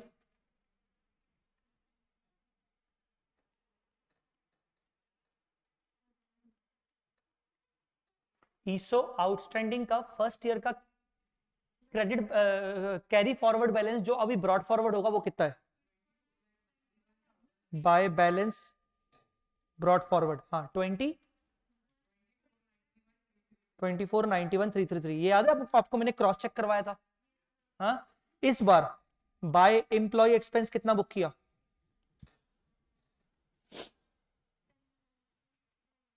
एम्प्लॉय एक्सपेंस कितना बुक किया? Twenty five lakh fifty seven thousand two hundred second year में. Twenty five fifty seven two hundred employee expense book किया? जीआर में कितना डाला?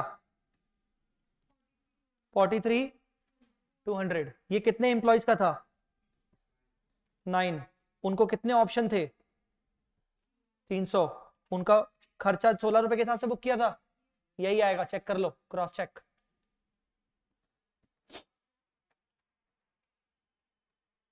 बैंक वाली एंट्री तुम लोगों ने कर दी है, मुझे पोस्टिंग चाहिए। To share capital to security premium हाँ शेयर कैपिटल कितना? तेरह लाख? बीस हज़ार। नेक्स्ट सिक्योरिटी ना?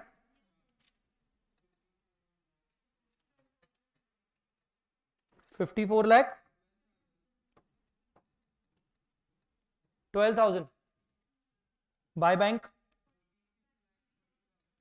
forty six lakh twenty ये फोर्टी सिक्स ट्वेंटी कैसे है? मैं कर देता हूँ।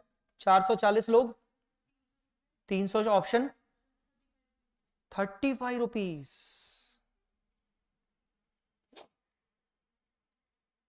नहीं है समझ। आया? अब इसका बैलेंसिंग फिगर क्या आ रहा है?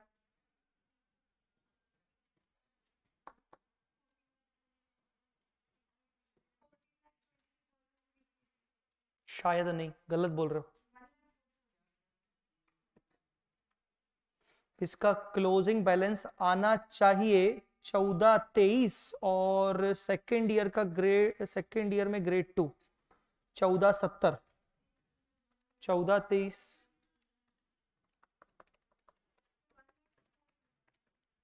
सेकेंड ईयर का क्लोजिंग बैलेंस आना चाहिए अट्ठाईस lakh ninety three thousand three thirty three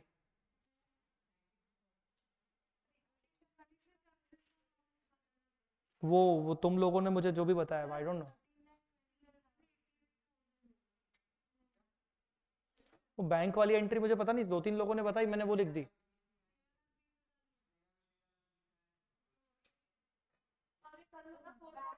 अरे बैंक में एंट्री क्या आएगा? Bank account debit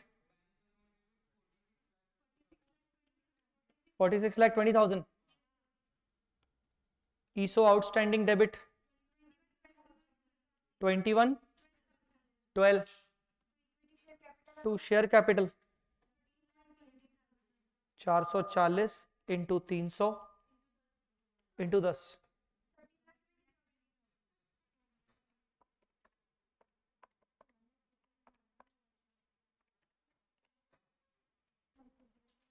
thirteen twenty तो आ रहा है। To security premium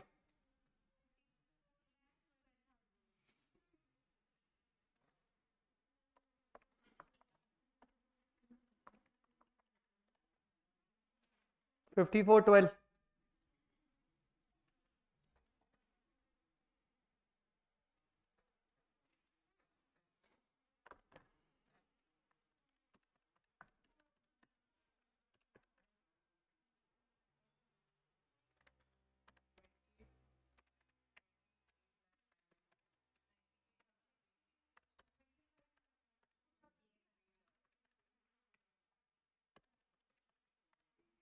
twenty eight lakh twenty क्या आ रहा है? आ रहा है? उसको क्रॉस चेक किया।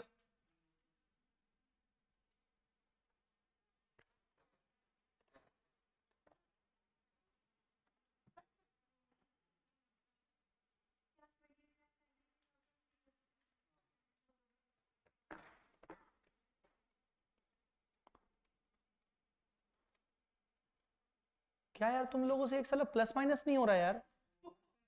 नहीं, दो चार लोग ऐसे दिख रहे हैं मतलब प्लस माइनस नहीं कर पा रहे दो चार लोग।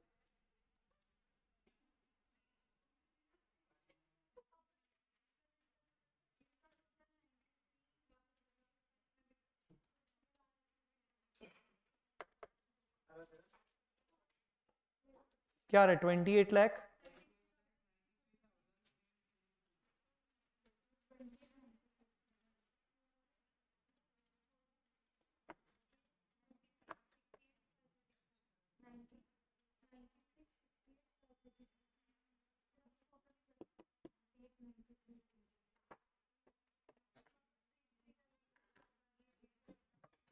करो जल्दी सॉल्व एक मिनट ना विशाल सर।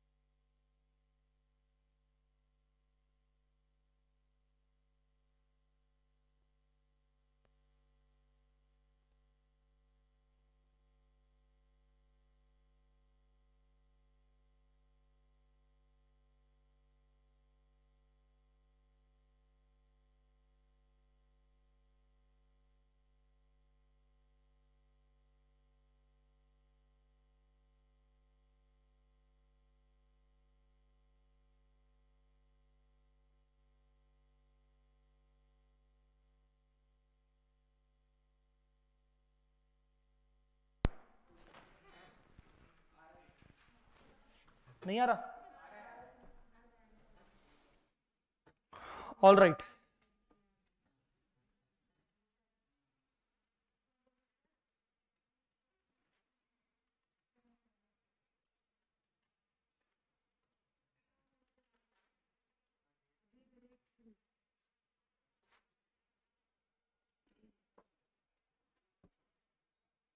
थर्ड ईयर आप सॉल्व करेंगे कि क्या करना है?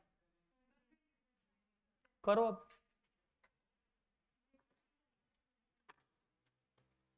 थर्ड ईयर करो।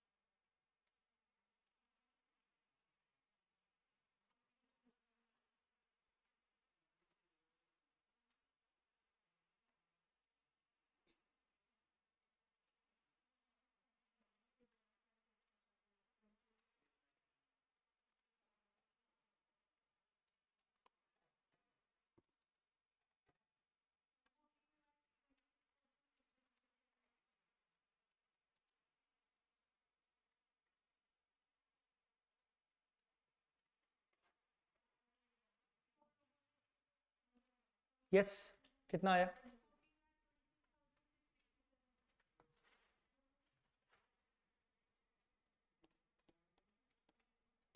थर्ड ईयर एक्सपेंस सिर्फ़ और सिर्फ़ ग्रेड थ्री के लिए निकलेगा। और ग्रेड थ्री में फाइनली नंबर ऑफ़ एम्प्लॉयज़ कितने बचे अब? 432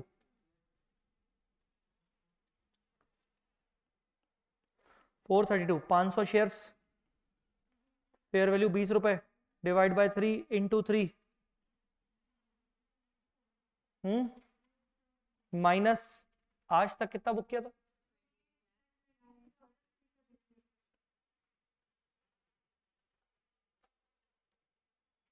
Twenty eight lakh ninety three thousand three thirty three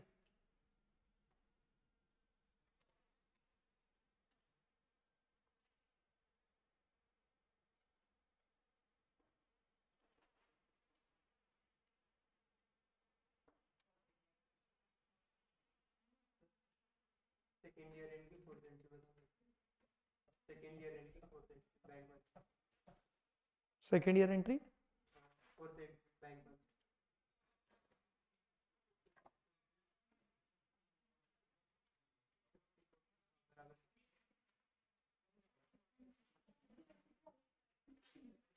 हाँ कितना आया एक्सपेंस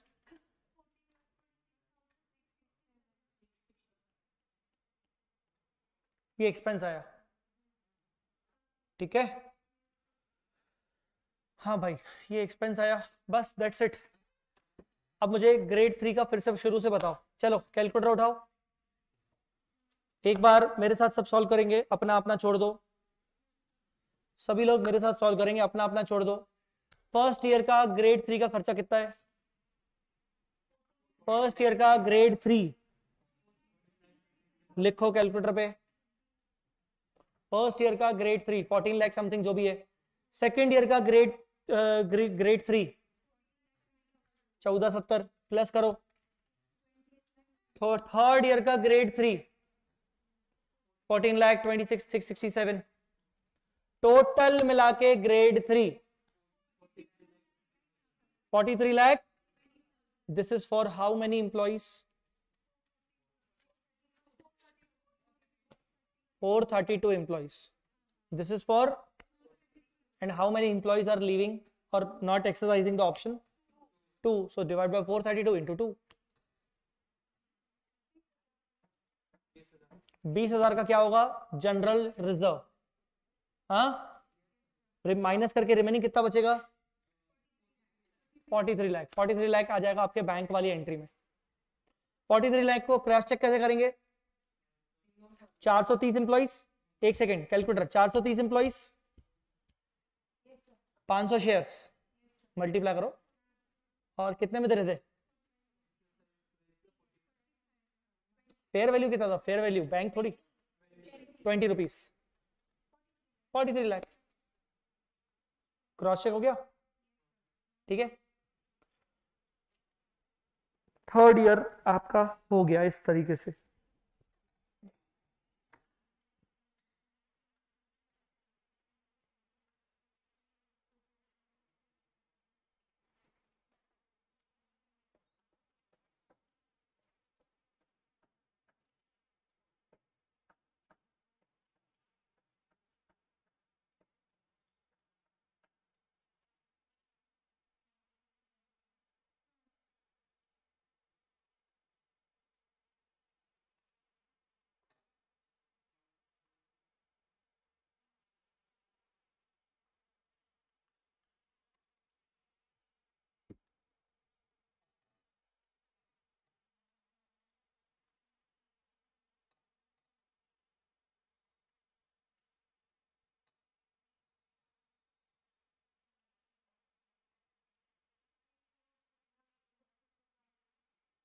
हम्म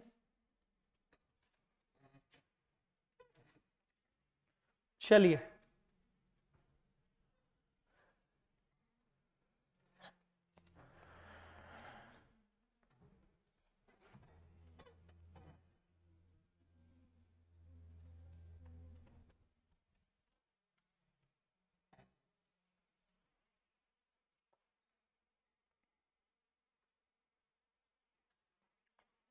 हो गया तो अपन क्वेश्चन नंबर एट डिस्कस करें।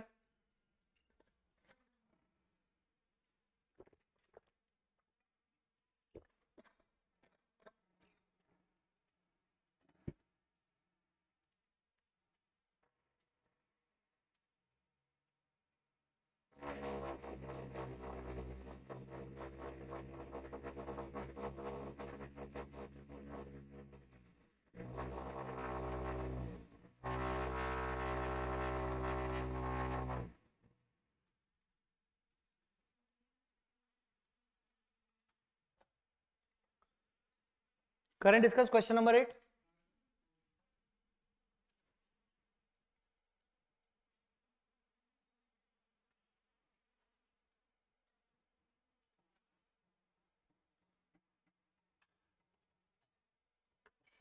आइए।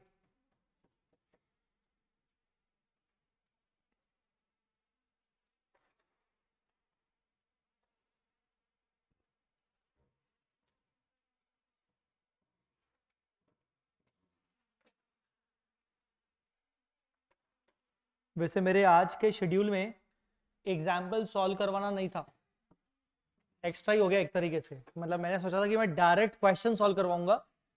एग्ज़ाम्पल सॉल्व करवाने का मेरा शेड्यूल था नहीं। पर ठीक है आई थॉट कि ठीक है, अभी ऐसा ना हो बाद में कि पर क्वेश्चन करने के बाद एक फील गुड ना हो। इसीलिए मैंने एग्ज़ाम्पल करवा दिया कि अब एटलीस्ट जब आप क्वेश्चन पढ़ोगे मेरे साथ तो आप लिंक कर पाओगे कि हाँ एग्ज़ाम्पल किया हुआ है तो अब लिंकिंग अच्छी से हो पाएगी।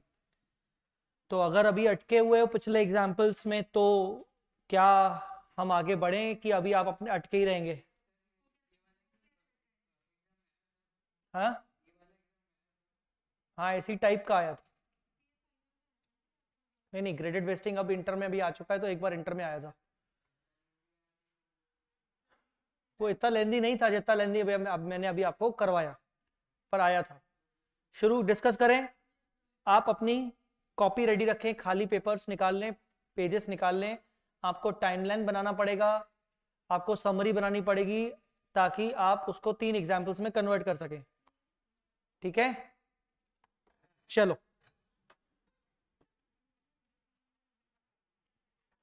Question number eight graded vesting the following particulars in respect of stock options granted by the company are available. Grant date 1st april 2006 number of employees covered 400 number of options granted पर employee 60 हर employee को 60 60 shares मिलेंगे। Share की face value है 100 exercise price है 125 shares offered were put in three groups यहाँ से ये पॉइंट क्लियर हो जाता है कि ये क्वेश्चन ग्रेडेड वेस्टिंग का है। Group one was for twenty percent of the shares निकालना शेयर्स का बीस परसेंट शेयर्स मतलब साठ है।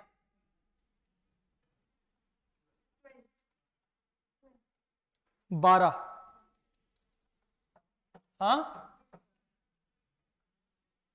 जिसके लिए वेस्टिंग पीरियड कितना दिया गया है? वन ईयर पढ़ लीजिए पूरा, मैंने हाईलाइट कर दिया। Group one was for twenty percent of the share offered for which vesting period is one year clear है कि नहीं?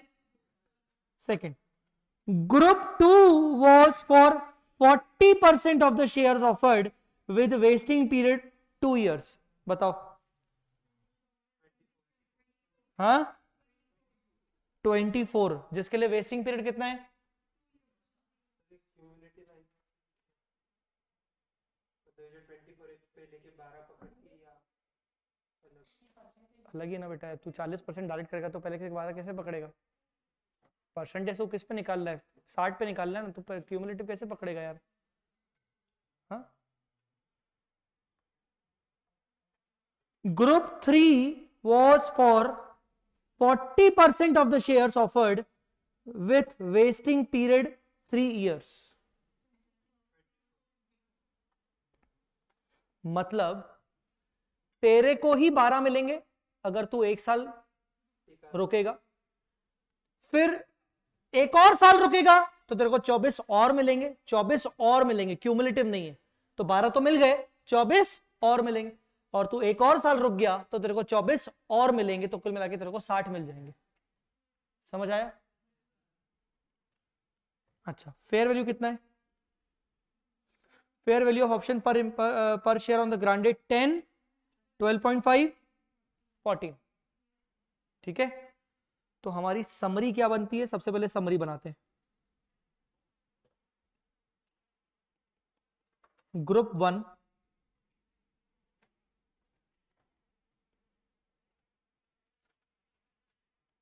group two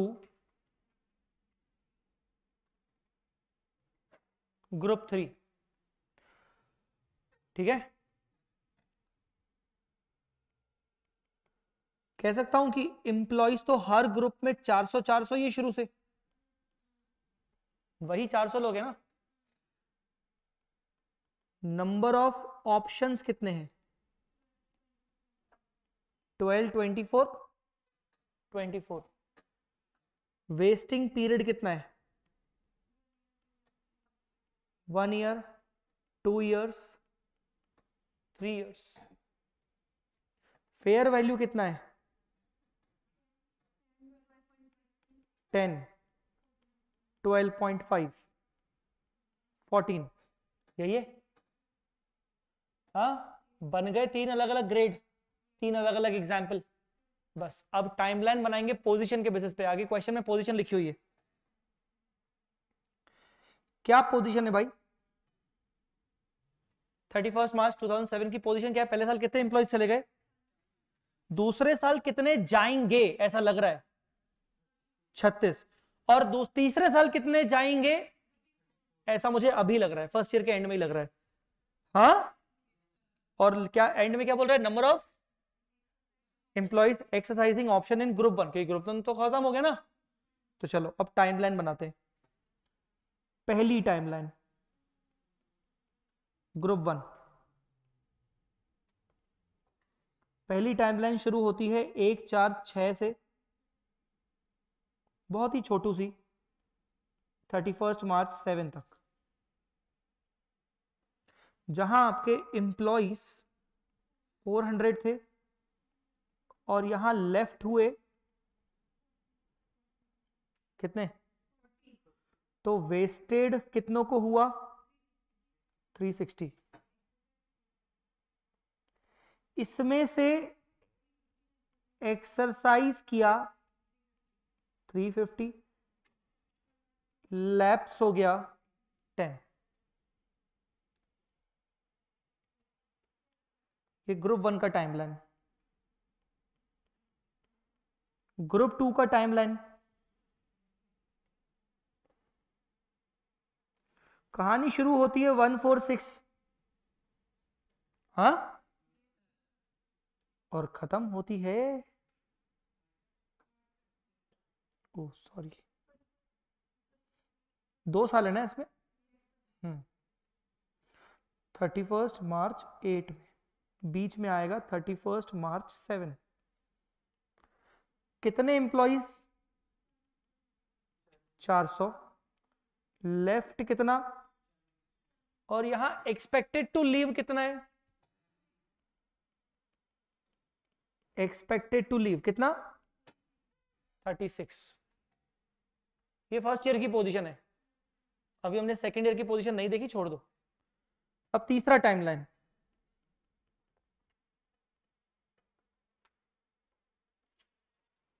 one four six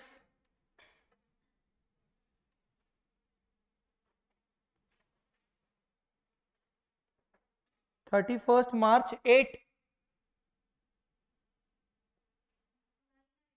sorry nine मैं तो चेक कर रहा था आपको। Very good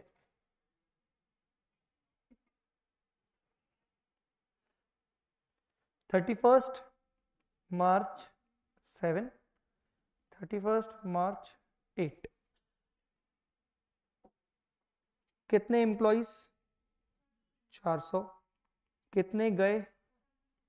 चालीस।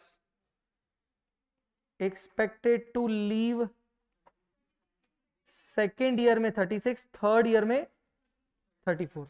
बस आगे अभी बढ़ा ही नहीं।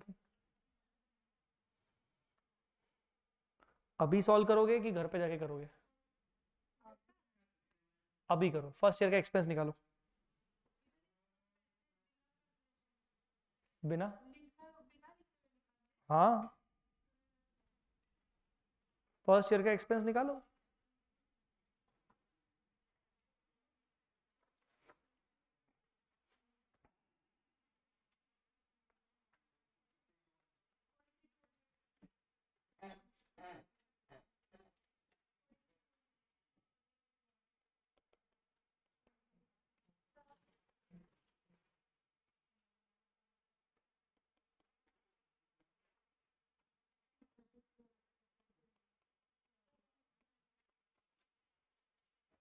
हम्म। चार सौ माइनस चालीस। Into twelve option into ten divide by one into one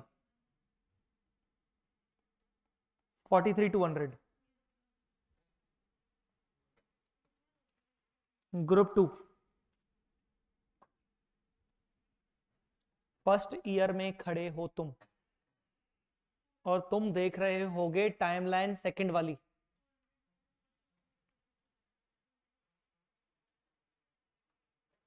first year में खड़े होके तुम बोल रहे हो फ़र्स्ट ईयर में गए चालीस और सेकेंड ईयर में जाएँगे छत्तीस। ट्वेंटी फोर ऑप्शन और साढ़े बारह रुपए का fair value divide by two into one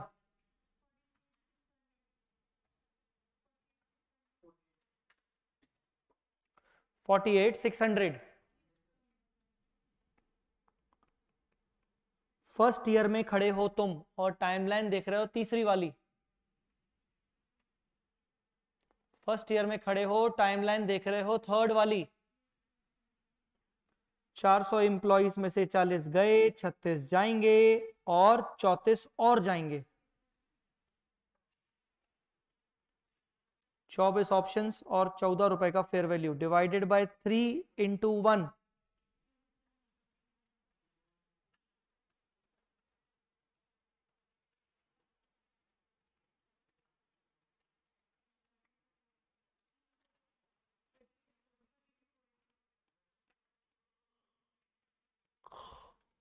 total expense.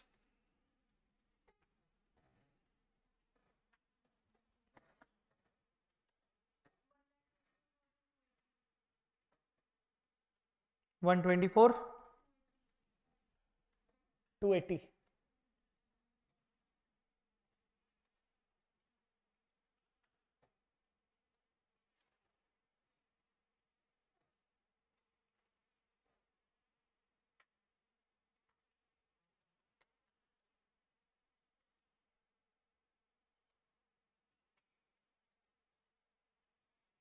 Clear hmm कितने लोगों ने एक्सरसाइज किया ऑप्शन ग्रुप वन को। ग्रुप वन 350 और आपने ग्रुप वन बनाया कितने हिसाब से था? 360 तो इसके दो हिस्से होंगे? 43 200 के दो हिस्से होंगे? बताओ। यस ट्वेल्व हंड्रेड और forty two thousand twelve hundred कितने एम्प्लॉयज़ के हिसाब से? टेन एम्प्लॉयज़ और ये? थ्री फिफ्टी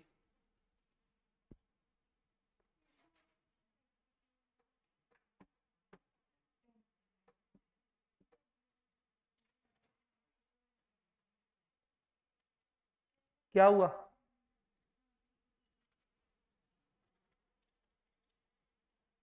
आ गया?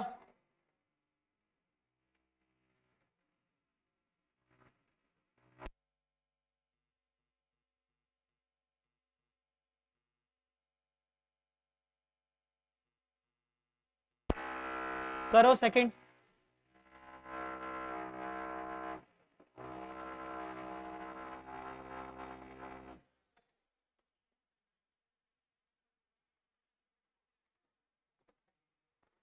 second year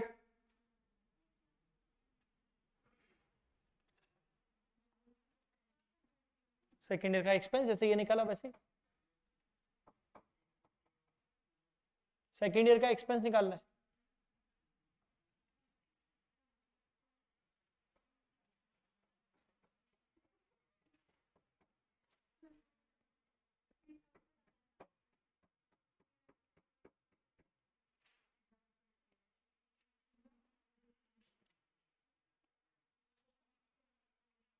सेकेंड ईयर का एक्सपेंस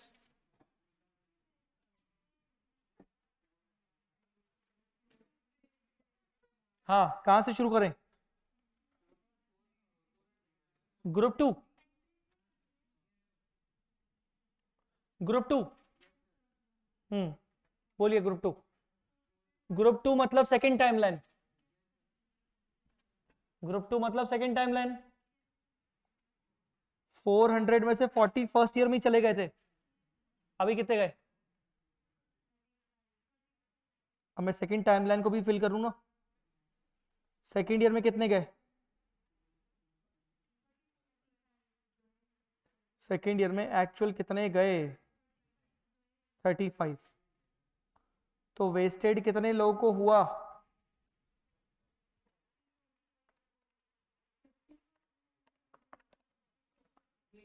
थ्री ट्वेंटी फाइव को। हम्म?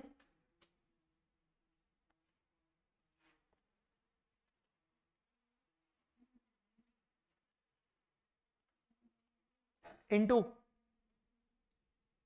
options 12.5 divided by into 2 48 600 क्या था? पिछले साल का ग्रुप टू का खर्चा।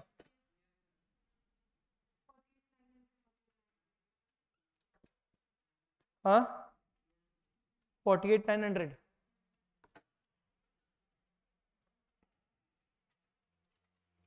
Group three. Group three. Timeline.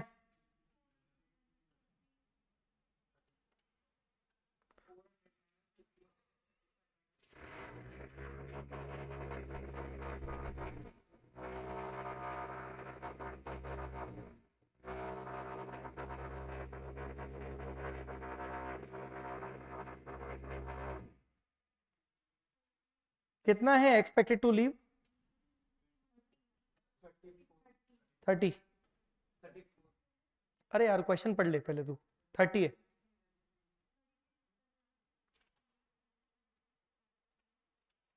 Second year में थर्टी एक्सपेक्टेड टू लीव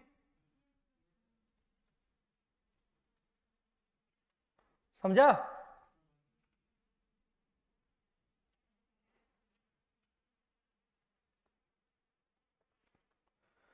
क्या आएगा? 400 सौ minus forty minus thirty five minus thirty.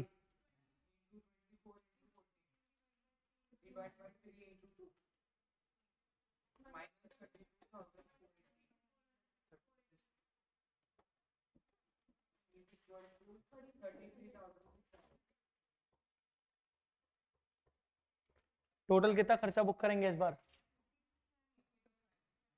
हम्म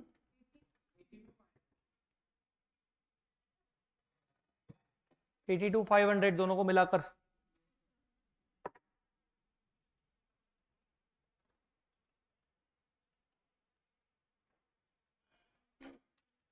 एटी टू फाइव हंड्रेड दोनों को मिलाकर। ऑल राइट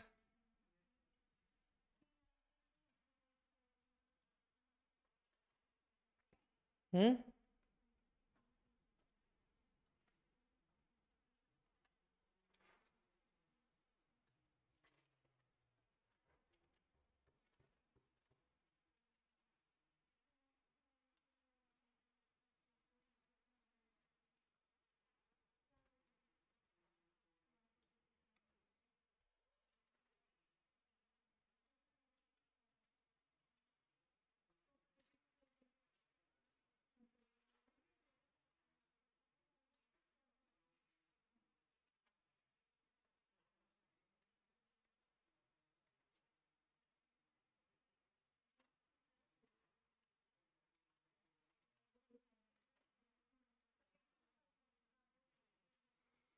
चलिए, अब मुझे बताइए सेकेंड ईयर में कितने एम्प्लॉयज़ ने अवेल किया ऑप्शन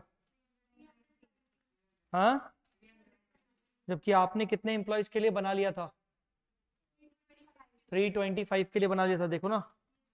वेस्टेड 325 319 को एक्सरसाइज हुआ। ठीक है? तो कैसे निकालेंगे?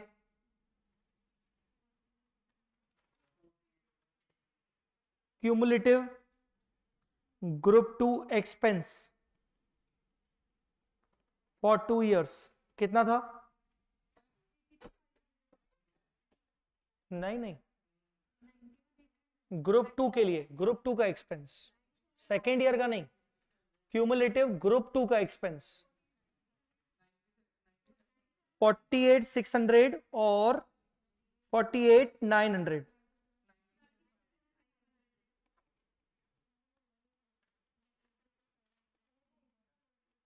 ninety seven five hundred for how many employees 325 employees ठीक है ये 325 employees के लिए हुआ ना बस इसके दो हिस्से कर दो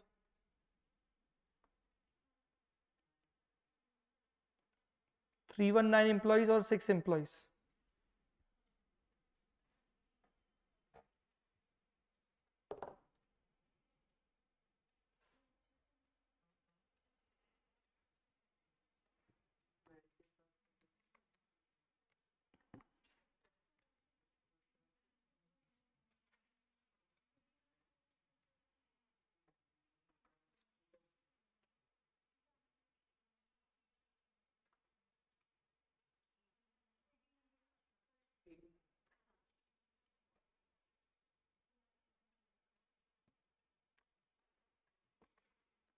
यस कितना कितना है? 95 700 और 1800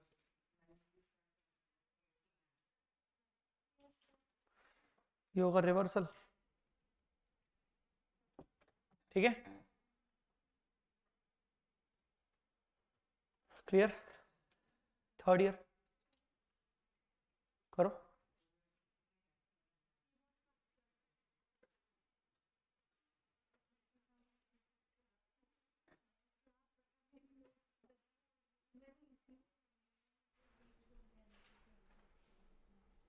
थर्ड ईयर करो।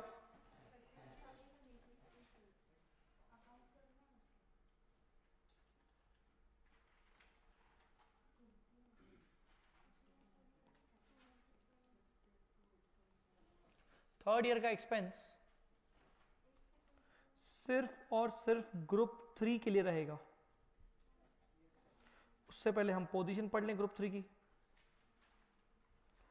पोजीशन कुछ ऐसी है कि ट्वेंटी एड एम्प्लॉयज़ चले गए। तो मैं टाइमलाइन पे जाके ट्वेंटी एट लेफ़्ट कर देता हूँ। जैसे ही ट्वेंटी एट लेफ़्ट कर दिया तो वेस्ट कितनों को हो गया?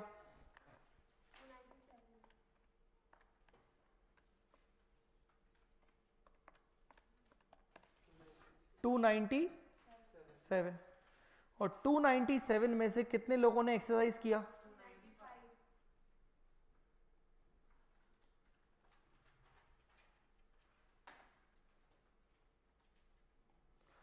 दो लोगों का क्या हो गया?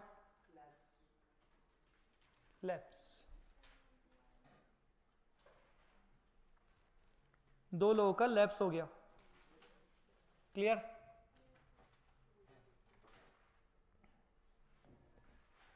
एक्सपेंस तो पूरा पूरा 297 के हिसाब से बनाएँगे। 24 options 14 divide by 3 into three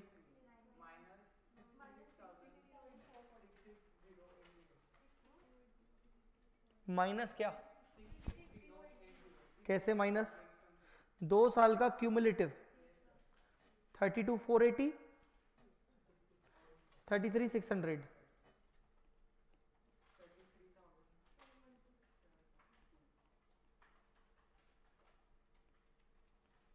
हम्म कितना आया?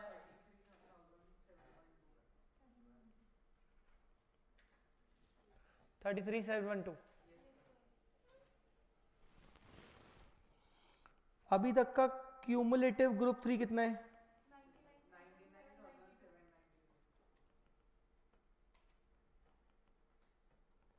For two ninety seven employees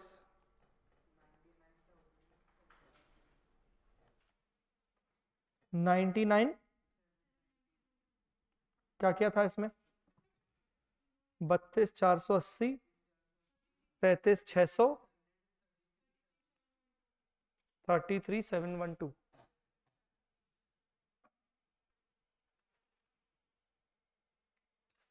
ठीक है?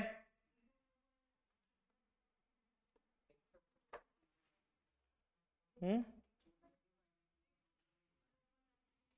तो इसमें से दो का लैप्स 295 का एक्सरसाइज। चलो बोलो। हम्म?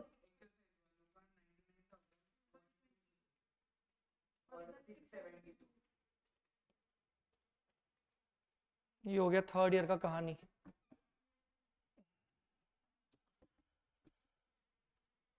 क्लियर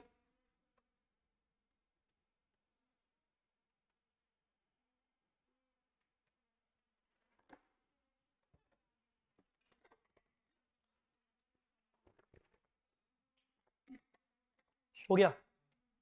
जगह सही है ये। परफेक्ट है ना? चलिए तो ये क्वेश्चन हो गया बेटे। इसको कर दो एग्ज़ाम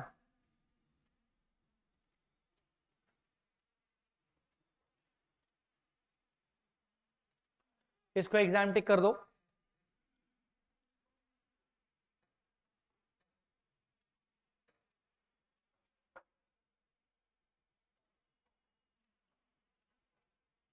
क्वेश्चन नंबर 15 पढ़ लो। 15 पढ़ लीजिए क्वेश्चन नंबर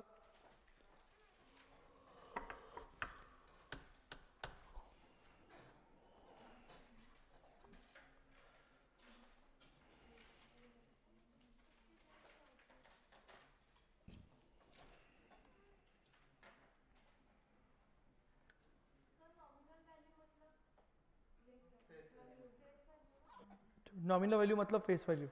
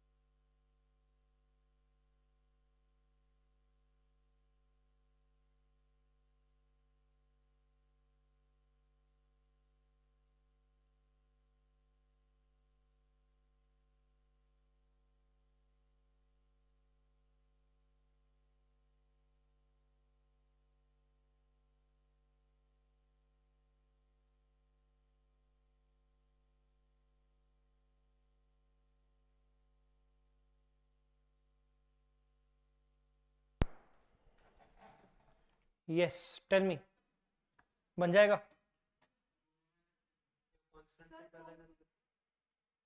क्या बोल रहे हो? कांस्टेंट रखते रेट को कांस्टेंट रखते हैं रेट को मतलब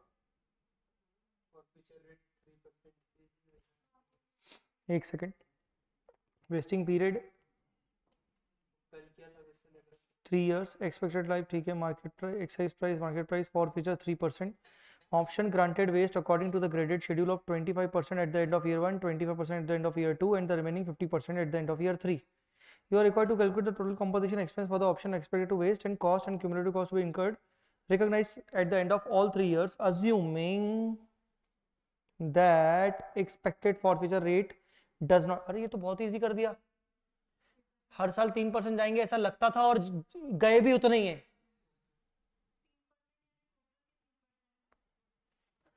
बेटे पर ईयर लिखा है।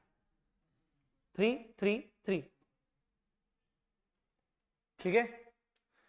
तो ग्रुप वन में ग्रेड वन में क्या होगा? एम्प्लॉयज़ कितने हैं आपके पास? Thousand thousand minus three percent that's it group one में क्या होगा? थाउज़ेंड माइनस थ्री परसेंट खत्म। ग्रुप टू में क्या होगा? Thousand minus three minus three वो ठीक है, वो पॉइंट में अपन करते भी नहीं है। और ग्रुप थ्री में क्या होगा? Thousand minus three minus three minus three simple 300 option है 300 ऑप्शंस का 25 परसेंट, पच्चीस परसेंट और 50 percent. Seventy five seventy five the fair values of these options are 10 13 15 और इंट्रेंसिक वैल्यूज़ 6 दोनों मेथड से क्वेश्चन सॉल्व करना है। कर लोगे क्या? हाँ? It looks easy comparatively why क्योंकि इसमें हर एम्प्लॉयज़ कितने कितने एक्सपेक्टेड माइनस प्लस इतना, वह तीन परसेंट दिया, खत्म। एग्ज़ाम में ये आया था। एग्ज़ाम में ये क्वेश्चन आया था। नहीं? तो ये है आपका होमवर्क ये एग्ज़ाम में क्वेश्चन आया था। जो क्वेश्चन मैंने आपको करवाया, वो सीए फाइनल वाला क्वेश्चन था। ठीक है? तो ये हो गए आपके सारे क्वेश्चन कंप्लीट क्या ईसॉप का चैप्टर कंप्लीट हो गया? नहीं. We have theory with us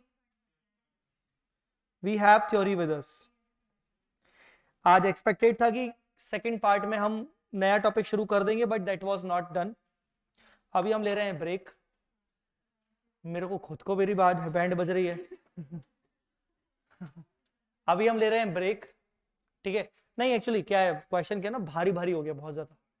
बहुत ज़्यादा भारी भारी हैवी हो गया। वो ऐसा क्वेश्चन अपन ने पहले नहीं किया ना ज़्यादा है ना? दिमाग की एक्सरसाइज भी हो गई, पर साथ साथ ऐसा इतना थकावट आ गई दिमाग को कि अब लग रहा है थोड़ा अपन पाँच दस मिनट पहले रेस्ट कर ले। थ्योरी पार्ट बचा हुआ है। थ्योरी पार्ट जल्दी कवर कर लेंगे। थ्योरी पार्ट इसीलिए करवा रहा हूँ, क्योंकि कभी कभार एग्ज़ाम में ईसॉप के ऊपर थ्योरी भी आ सकती है चार मार्क्स की। ठीक है? तो थ्योरी इज़ इंपॉर्टेंट तो इसीलिए हम ब्रेक के बाद थ्योरी पर डिस्कशन करेंगे। ठीक है गाइस चलिए, लेते हैं एक शॉर्ट ब्रेक और ब्रेक के बाद अपन थ्योरी पर आएँगे। Thank you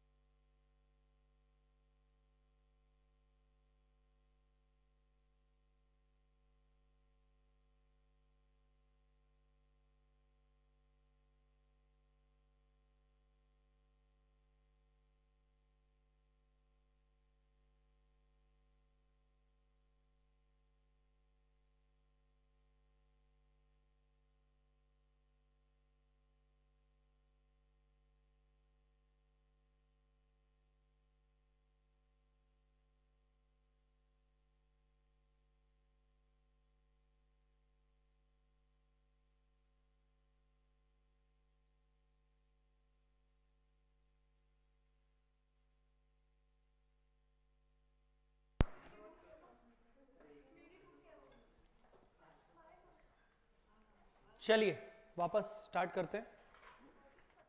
Welcome back after the break सभी लोग शांत बैठे रहे कोई मस्ती मज़ाक नहीं। आज नया टॉपिक शुरू करना था बट अब आई डोंट नो कि शुरू तो अब होगा ही नहीं ऑब्वियसली कल से तो बिल्कुल न्यूज़ क्लास न्यू टॉपिक रहेगा। uh, अभी हम बात कर रहे हैं कुछ थ्योरी की। लेट्स सी कितनी देर में हम थ्योरी को कवर कर लेते हैं।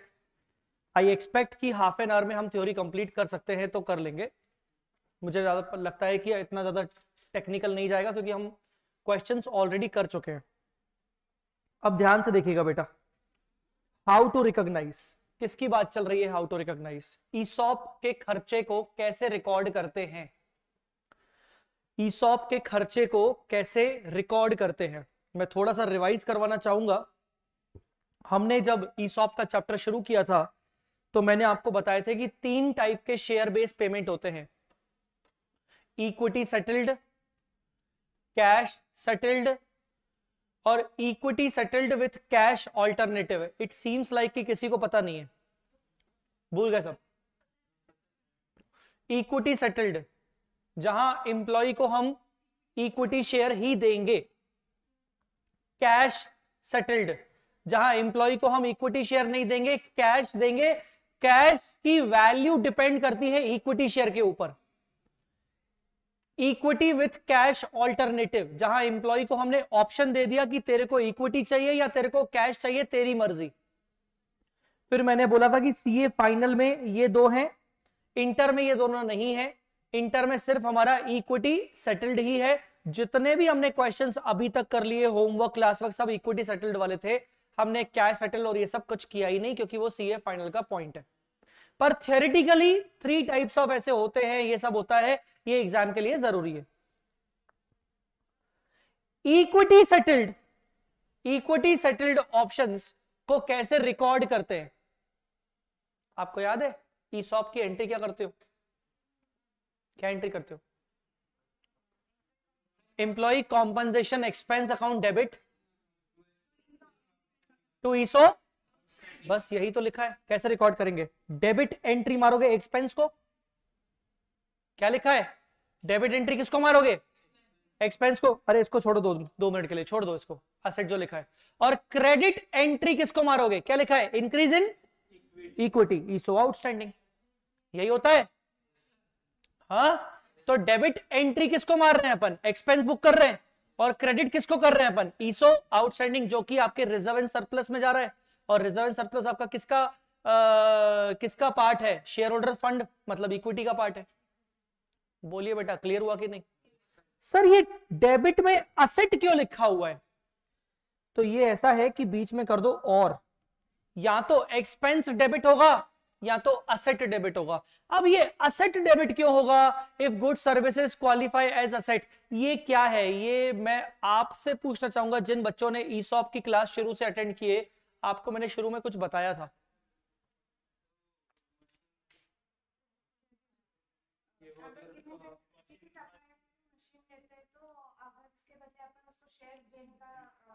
करेक्ट जब मैंने क्वेश्चन ये जब चैप्टर शुरू किया था ईसॉप का तो मैंने आपको बोला था कि हम तो सीए इंटर में सिर्फ़ पढ़ रहे हैं कि हम एम्प्लॉय से सर्विस ले रहे हैं और एम्प्लॉय को शेयर इशू कर रहे हैं। बट यहीं पर अगर मैं सप्लायर से मशीन खरीद रहा हूँ, मैं सप्लायर से गुड्स खरीद रहा हूँ और उसको शेयर दे रहा हूँ तो वो भी एक तरीके से शेयर बेस्ड पेमेंट है। तो वो भी इस चैप्टर में फॉलो होगा। ऑल हमारे सिलेबस का हिस्सा नहीं है तो बेसिकली अगर इंप्लॉय के बजाय सप्लायर आ जाए और सप्लायर से हम असेट ले रहे हैं, खरीद रहे हैं तो आप एक्सपेंस बुक करोगे कि असेट बुक करोगे? तो एंट्री क्या हो जाएगी? Asset account debit to ESO outstanding समझ आया कि नहीं? बोलिए बेटा क्लियर तो ये रिकॉग्निशन पार्ट क्लियर है आप सबको? चलिए, नीचे आते हैं. वेस्टिंग कंडीशन पढ़े बिना. क्वेश्चंस कर लिए हैं सब हमने. सिर्फ़ एक लाइन में अगर डिस्क्राइब करना हो, एक वर्ड में या क्या क्या होता है वेस्टिंग कंडीशन ये वेस्टिंग कंडीशंस क्या होती है? हमने तो क्वेश्चंस कर लिए सभी। जिन कंडीशंस के बेसिस पर ऑप्शन वेस्ट कर दिया जाएगा शेयर इशू कर दिया जाएगा। जिन कंडीशंस के बेस पर ऑप्शन वेस्ट कर दिया जाएगा या शेयर इशू कर दिया जाएगा मतलब एम्प्लॉय एलिजिबल हो जाएगा, उसको क्या बोलते हैं? वेस्टिंग कंडीशन क्लियर है कि नहीं? आइए, पढ़ते हैं। इंपॉर्टेंट है थ्योरी के लिए ध्यान से रखिएगा। Vesting condition is the condition that determines whether the enterprise receives the service that entitle the counter party ये काउंटर पार्टी मतलब एम्प्लॉय सामने वाली party to receive cash other assets और equity instrument of the enterprise under an employee stock option plan vesting condition मतलब जहाँ पर जिस basis पर एंटिटी को यह समझ आ जाए कि हाँ ये कंडीशन फुलफिल करने से हम शेयर इशू करेंगे और हमें सर्विस मिल जाएगी। फिर से पढ़िए इस लाइन को। सभी लोग, अपने अपने मन में पढ़े सभी लोग। Vesting condition is a condition that determines जिससे ये तय होता है कि हाँ एंटिटी को क्या मिलेगा और एंटिटी उसके बदले क्या देगी।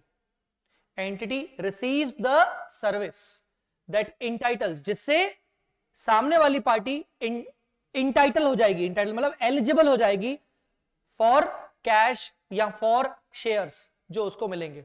तो जिस कंडीशन के बेसिस पर एंटिटी को सर्विस मिल रही है और एंटिटी सामने वाली पार्टी को कैश दे रही है, अगर कैश सेटल्ड ऑप्शन है तो इक्विटी शेयर दे रही है, अगर इक्विटी सेटल्ड ऑप्शन है तो। Some share based payment transaction may include wasting condition that must be met before any payment is made types of vesting condition बहुत इंपॉर्टेंट है। Types of vesting condition vesting condition दो type की होती है। पहला क्या लिखा है? सर्विस कंडीशन आपको ध्यान है, जितने भी क्वेश्चंस किए हैं, हर क्वेश्चन में क्या लिखा होता था? तीन साल काम करना पड़ेगा। दो साल काम करना पड़ेगा। ढाई साल काम करना पड़ेगा। ग्रेडेड वेस्टिंग में एक साल मिनिमम काम करना पड़ेगा तो ही आपको दो सौ शेयर मिलेंगे।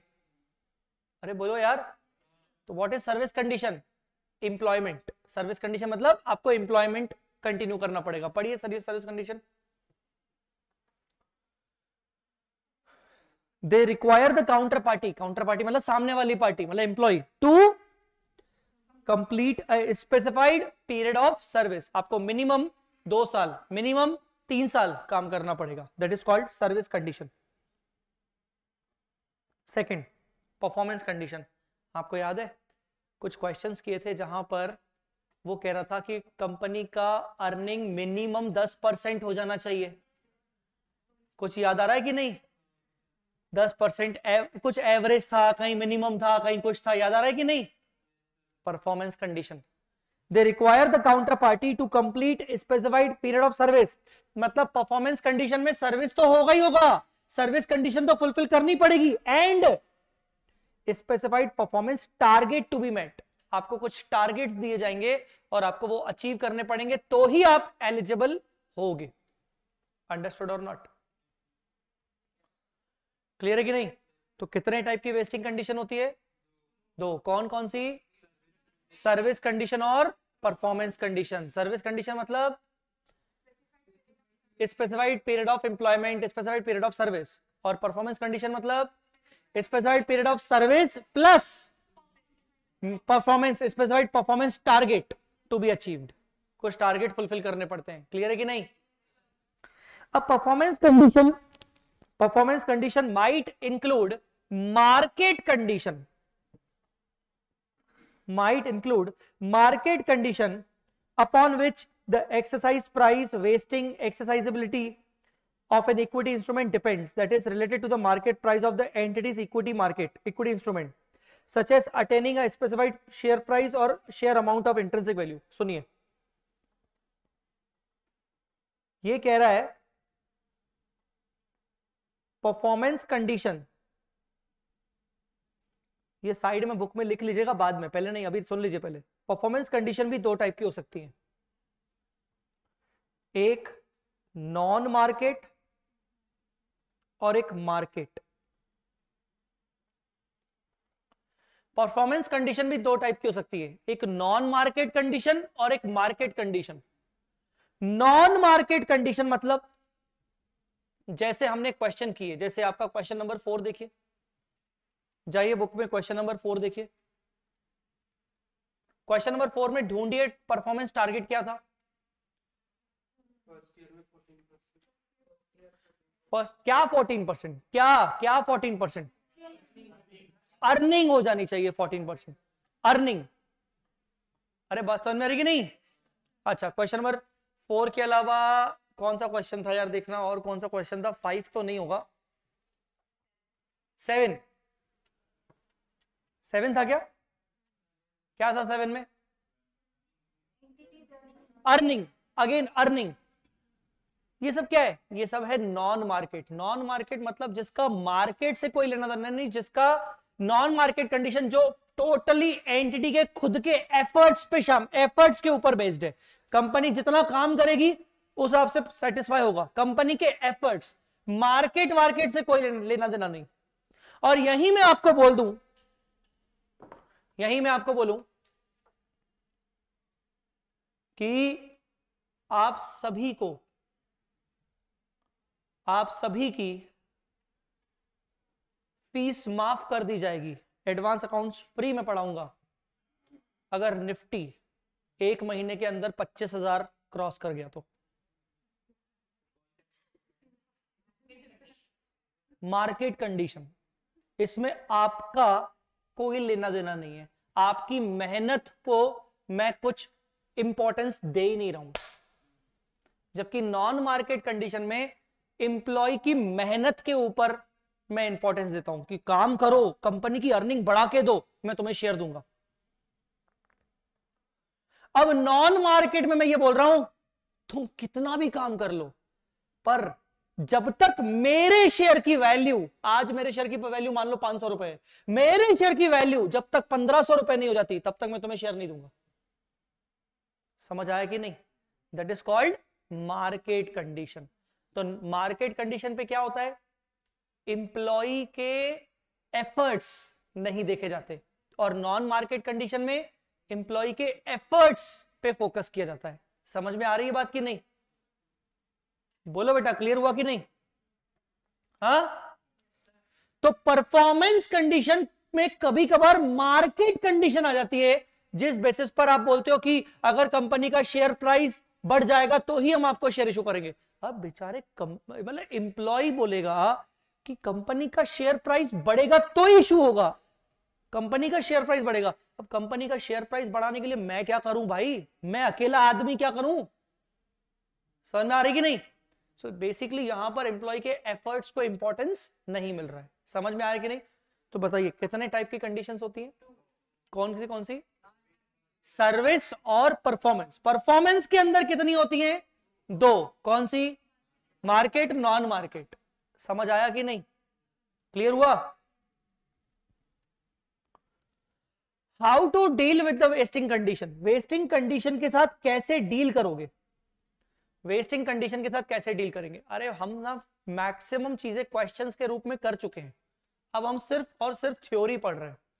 वेस्टिंग कंडीशंस के साथ कैसे डील करोगे? सुनना, ध्यान से सुनना।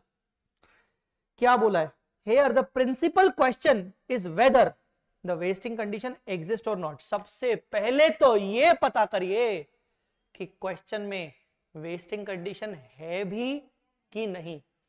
आपका क्वेश्चन नंबर थ्री जाइए, एक बार देखिए रेफर करिए क्वेश्चन नंबर थ्री ईएसपीपी मिला क्वेश्चन नंबर थ्री मिला क्या? या क्वेश्चन नंबर टू भी शायद?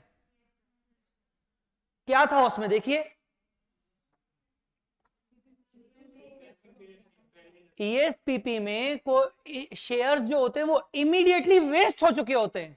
उसमें कोई कंडीशंस उसमें पोस्ट वेस्टिंग रेस्ट्रिक्शंस होती है, मैंने बताया था। कुछ याद आ रहा है कि नहीं? हाँ? तो सबसे पहले तो ये हेडिंग क्या लिखा है? How to deal with the vesting condition vesting condition के साथ कैसे डील किया जाएगा? तो सबसे पहले क्वेश्चन ये आता है कि वेस्टिंग कंडीशन है भी कि नहीं? तो द आंसर इज़ पहला answer the vesting condition is no no there is no vesting condition अगर वेस्टिंग कंडीशन नहीं है तो क्या करेंगे? क्या लिखा है? वेस्टिंग कंडीशन नहीं है। If the share based payment is vested immediately और there are no vesting condition then the transaction as granted in return for employee service in the past therefore entity needs to recognise the service received immediately in full at the grant date with the corresponding increase in equity आपको याद है? Question number two और question number three में हम पूरा पूरा खर्चा एक ही बार में बुक कर रहे थे। कुछ याद आ रहा है कि नहीं? हम पूरा पूरा एक्सपेंस एक ही बार में बुक कर रहे थे। बोलिए बेटा। तो सबसे पहला ऑप्शन सबसे पहला पॉइंट वेस्टिंग कंडीशन है कि नहीं है, ये चेक करना है। अगर वेस्टिंग कंडीशन नहीं है तो क्या माना जाएगा? इसका मतलब ऑप्शन पहले ही वेस्ट हो चुका है। इसका मतलब आपको सिर्फ़ एक्सपेंस डायरेक्टली बुक करना है अभी की अभी। आपको डेफर एमोटाइज नहीं करना है। साइड में लिख लेना no need to defer and amortise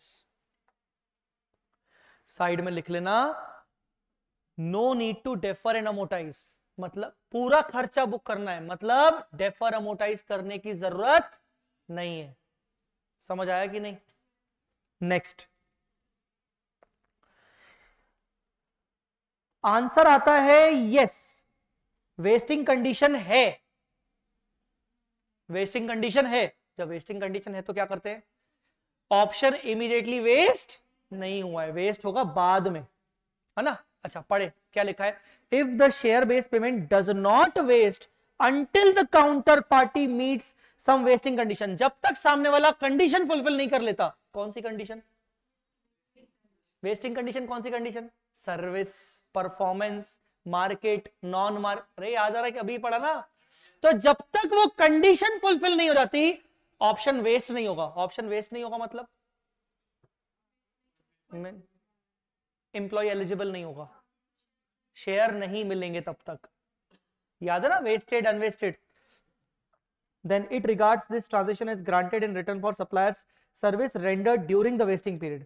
तो माना जाएगा कि अच्छा ये जो ऑप्शन है, ये सर्विस के बदले में दिया गया है और सर्विस आपको पूरे वेस्टिंग पीरियड में मिलेगी।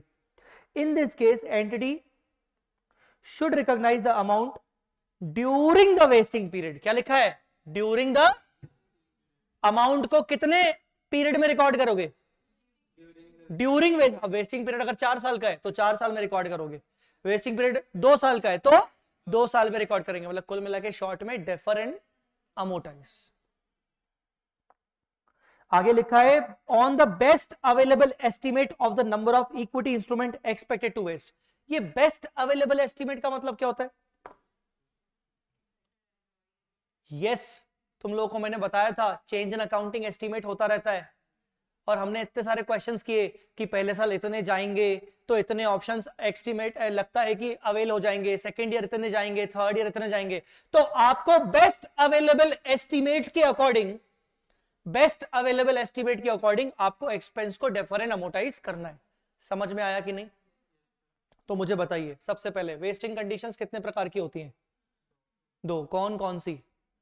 सर्विस कंडीशन और परफॉर्मेंस सर्विस कंडीशन मतलब स्पेसिफाइड पीरियड ऑफ़ सर्विस आपको एम्प्लॉयमेंट में देना पड़ेगा। परफॉर्मेंस मतलब service as well as performance target to be achieved performance condition कितने टाइप की होती है?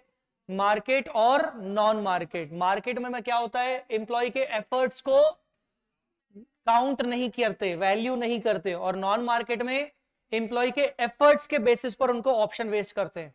अच्छा अब सबसे पहले वेस्टिंग कंडीशन क्वेश्चन में है कि नहीं, ये देखना पड़ेगा। अगर नहीं है तो क्वेश्चन में कंडीशन ही नहीं है। इसका मतलब क्या बोलोगे? ऑप्शन तो मिल गया एम्प्लॉय एलिजिबल हो गया। इसका मतलब पूरा पूरा खर्चा सेम टाइम पे बुक करो। डेफर अमोटाइज करने की ज़रूरत नहीं है। और दूसरा, अगर क्वेश्चन में वेस्टिंग कंडीशन है तो कैलकुलेटर से क्या खेल रहा है पालतू अभी? क्वेश्चन में वेस्टिंग कंडीशन है तो जल्दी बोलो। कंडीशन है तो क्या करेंगे?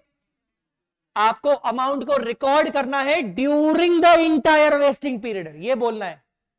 अगर वेस्टिंग कंडीशन नहीं है तो क्या करेंगे?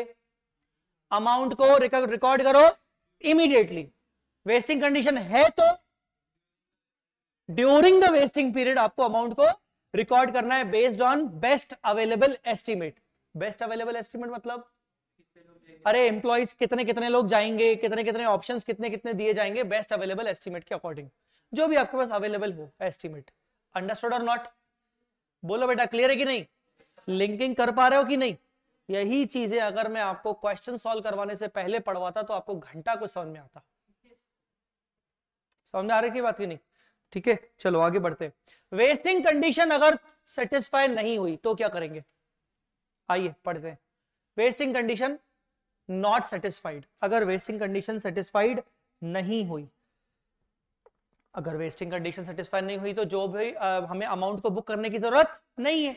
No amount is recognise for the goods और service received on a cumulative basis if the equity instrument granted do not vest because of such failure अगर कंडीशन फुलफिल नहीं हुई तो हमें एक्सपेंस रिकॉग्नाइज नहीं करना चाहिए।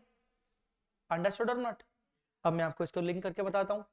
फ़र्स्ट ईयर में आपने 100 एम्प्लॉयज़ के हिसाब से एक्सपेंस बुक किया। ठीक है? सेकेंड ईयर में आपने देखा ओ तेरी 100 में से 10 एम्प्लॉयज़ तो चले गए। कितने बचे?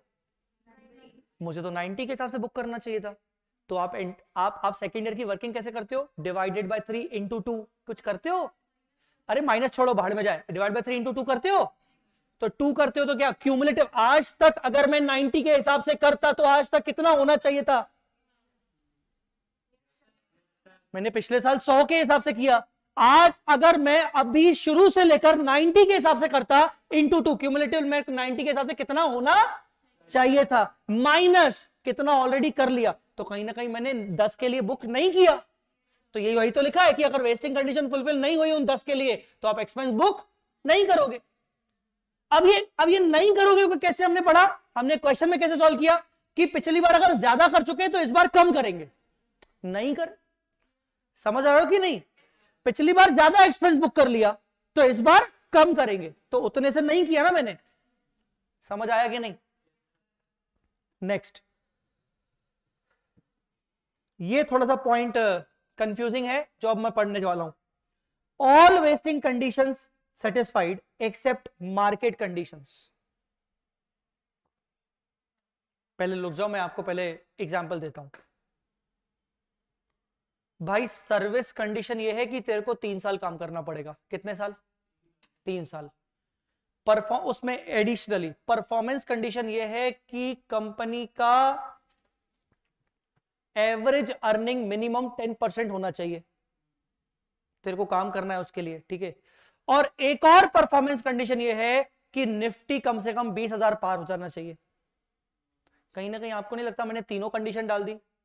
सर्विस भी डाल दी परफॉर्मेंस का नॉन मार्केट भी डाल दिया, और परफॉर्मेंस का जब ये तुम तीनों कंडीशन फुलफिल कर दोगे ना, जब ये तीनों कंडीशन फुलफिल तो ही तुम्हें ऑप्शन वेस्ट होगा। अदरवाइज़ वेस्ट अब सुनना ध्यान से। इन भाई साहब को बोला कि आपको तीन साल काम करना है कंपनी में। भाई साहब ने तीन साल कंपनी काम कर लिए सर्विस कंडीशन फुलफिल टिक चलो। इन भाई साहब को बोला कि आप इतनी मेहनत करिए कि कंपनी का परफॉर्मेंस कम से कम ऐसा हो कि 10 परसेंट अर्निंग बनी रहे तीन साल में। भाई साहब ने करके दिखाया। Tick non market condition fulfil Nifty बस बीस हज़ार नहीं हो पाया। निफ्टी का मैंने बोला था ना twenty thousand Nifty twenty thousand touch नहीं हुआ। इसका मतलब क्या क्या हुआ? Service condition satisfied non market performance condition satisfied market performance condition satisfy share तो नहीं मिलेगा तेरे को। मैंने बोला, तीनों कंडीशन फुलफिल होंगी तो ही शेयर दूँगा। बोलना यार शेयर तो नहीं मिलेगा तेरे को। समझ आया कि नहीं? पर, अब वापस कंडीशन में चलते हैं। सारी कंडीशन फुलफिल हो गई, सिर्फ़ कौन सी फुलफिल नहीं हुई? अब पढ़ो इसको, क्या लिखा है।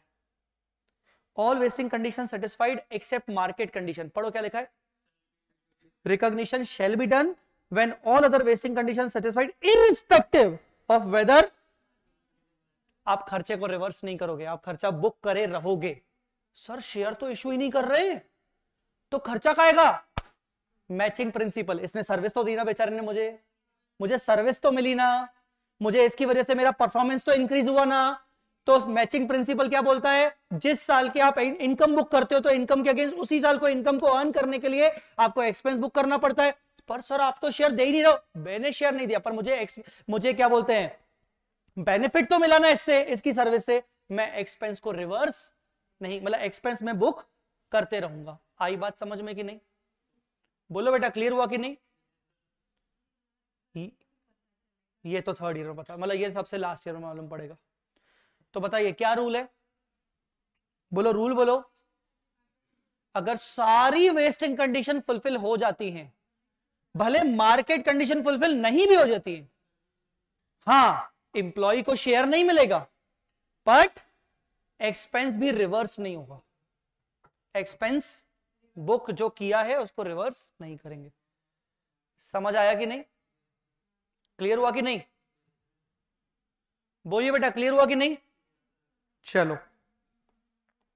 Next graded vesting theory graded vesting की। अभी तो किया। हाँ तो थ्योरी पढ़ने में दिक्कत है क्या? चलो, अब तुम ही पढ़ोगी थ्योरी पढ़ो, उठो। हाँ जो मुँह बनाएगा, उसी को ये करना पड़ेगा।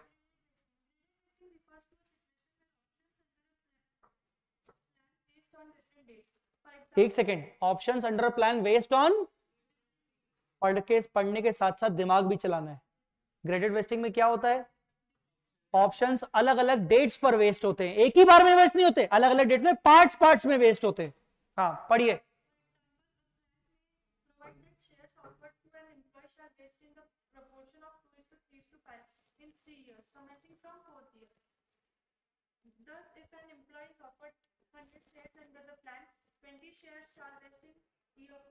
30 shares shall shall vest in year 5, and 50 shares shall vest in year 6. मतलब क्या हुआ? कि पार्ट्स पार्ट्स में वेस्टिंग हो रही है। ग्रेडेड वेस्टिंग मतलब पार्ट्स पार्ट्स में एलिजिबिलिटी पार्ट्स पार्ट्स में वेस्टिंग ठीक है? पढ़िए आगे।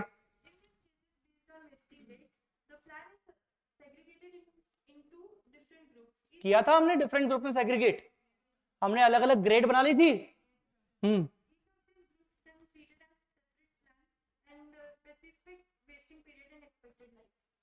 हर प्लान को एक सेपरेट क्वेश्चन मान लिया जाएगा, उसका सेपरेट लाइफ होगा, उसका सेपरेट एक्सरसाइज प्राइस होगा, उसका सेपरेट फेयर वैल्यू होगा और सॉल्व किया जाएगा। क्लियर है कि नहीं? बैठ जाइए। दिस वॉज़ ग्रेडेड वेस्टिंग यहाँ तक क्लियर है कि नहीं? अरे बोलो रे। जर्नल एंट्रीज आइए, पहली जर्नल एंट्री हाँ जी। हाँ तुम ही। नहीं नहीं, तुम। हाँ पहली जर्नल एंट्री क्या है expenses account debit to employee stock option outstanding. ESO outstanding account clear first entry clear है सबको? नहीं. फुल फॉर्म ठीक है? चलो, बैठो भाई. नेक्स्ट क्यों दादा? हेडिंग कौन पढ़ेगा रे?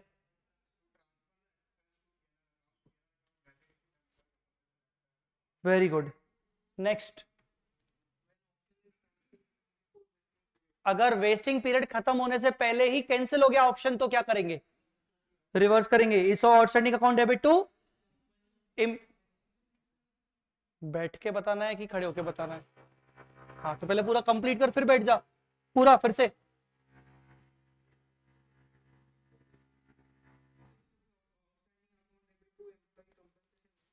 आपने जो एक्सपेंस बुक किया था, उसको रिवर्स मारना पड़ेगा क्योंकि आपका ऑप्शन कैंसिल हो गया। वेस्टिंग डेट से पहले ही आपका ऑप्शन कैंसिल हो गया। Next next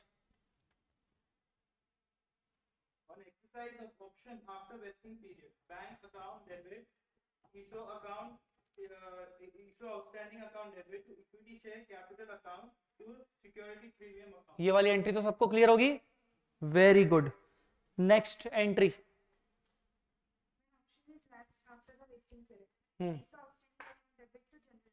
very good option अगर लैप्स हो जाए तो जर्नलिज्म में चला जाएगा. क्लियर है कि नहीं?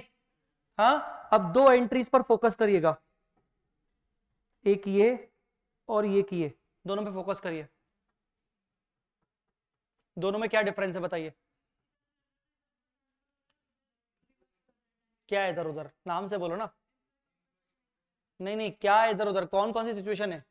अगर ऑप्शन कैंसिल हो जाए वेस्टिंग पीरियड से पहले तो रिवर्सल मारो, वापस खर्चा खत्म करो। और जबकि ऑप्शन लैप्स हो गया। सर्विस तो मिल गई ना। जनरल रिज़र्व में डाल दो। क्लियर है कि नहीं? Okay how to calculate employee compensation expense step one के हाँ जी।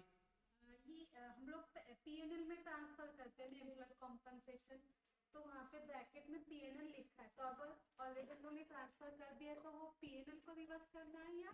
ब्रैकेट में पेंडल इसलिए लिखा है क्योंकि मेन हेड क्या है? एम्प्लॉय कॉम्पनसेशन एक्सपेंस तो जो आपके पेंडल में एम्प्लॉय कॉम्पनसेशन एक्सपेंस दिख रहा है वो कम हो जाएगा। तो तभी तो हम वापस रिवर्स कर रहे हैं ना? इसीलिए। How to calculate employee compensation expense step one क्या था? Calculate average expense number of employees expected to be eligible याद है अपन एक्सपेक्ट निकालते थे? ये वो था बेस्ट अवेलेबल एस्टिमेट हाँ? इनटू क्या है? ऑप्शंस पर एम्प्लॉय इनटू आईवी और फेस वैल्यू नहीं है फेयर वैल्यू है. डिवाइडेड बाय वेस्टिंग पीरियड चलो स्टेप टू क्या है? अच्छा इससे क्या निकलेगा? इससे एक साल का खर्चा निकलेगा. एवरेज एक साल का निकलेगा ना? हाँ अब स्टेप टू क्या है? उस एवरेज को into number of years left stilled अरे यार डायरेक्टली अपन इंटू टू करते ना? ठीक है? Into number of years expired ठीक है लास्ट जो भी क्यूमुलेटिव आया, उसमें से पिछले साल तक का जो एक्सपेंस है, वो माइनस करो। मतलब कुल मिला के तीन स्टेप्स हैं। अपन कहीं ना कहीं फॉर्मूले में एक ही स्टेप कर देते हैं। आप चाहो तो तीनों स्टेप कर सकते हो। क्लियर है कि नहीं? This was your theory simple clear हुआ कि नहीं? अब ओवरऑल थ्योरी में क्या इंपॉर्टेंट था? सिर्फ़ वेस्टिंग कंडीशन वाले पॉइंट चलो एक बार वापस रिवाइज कर लेते हैं। सिर्फ़ वेस्टिंग कंडीशन कितने टाइप के होते हैं? दो टाइप के। कौन कौन से? सर्विस कंडीशन और परफॉर्मेंस सर्विस कंडीशन में इंप्लॉय को क्या करना पड़ता है? स्पेसिफाइड पीरियड ऑफ़ सर्विस को सर्व करना पड़ता है। इंप्लॉयमेंट हाँ परफॉर्मेंस में क्या होता है? Service plus performance target achieve करना पड़ेगा। ठीक है? परफॉर्मेंस कंडीशन दो टाइप का होता है। Market and non market non market condition में क्या होता है? एम्प्लॉय के एफर्ट्स के ऊपर डिपेंड करता है। Performance are based on employee efforts और market condition performance is not based on employees efforts but based on market efforts market understood or not like increase in the share value increase in the sensex increase in the stock market वगैरह वगैरह increase in the price of gold है ना clear है कि नहीं इससे employ के efforts पर कोई फ़र्क नहीं पड़ता ठीक है अच्छा वेस्टिंग कंडीशन क्वेश्चन में है कि नहीं ये देखना पड़ेगा अगर क्वेश्चन में नहीं है तो इंटायर एक्सपेंस को इमीडिएटली बुक करो, कोई भी डिफरेंट अमोटाइज करने की ज़रूरत नहीं है। ईएसपीपी अच्छा अगर वेस्टिंग कंडीशन क्वेश्चन में है तो क्या करेंगे? सारे एक्सपेंस को ड्यूरिंग द वेस्टिंग पीरियड में बुक करो मतलब डेफर एंड अमोटाइज अंडरस्टूड और नॉट क्लियर है कि नहीं? अच्छा वेस्टिंग कंडीशन फुलफिल हुई कि नहीं हुई? हुई तो ठीक है, नहीं हुई तो क्या करेंगे?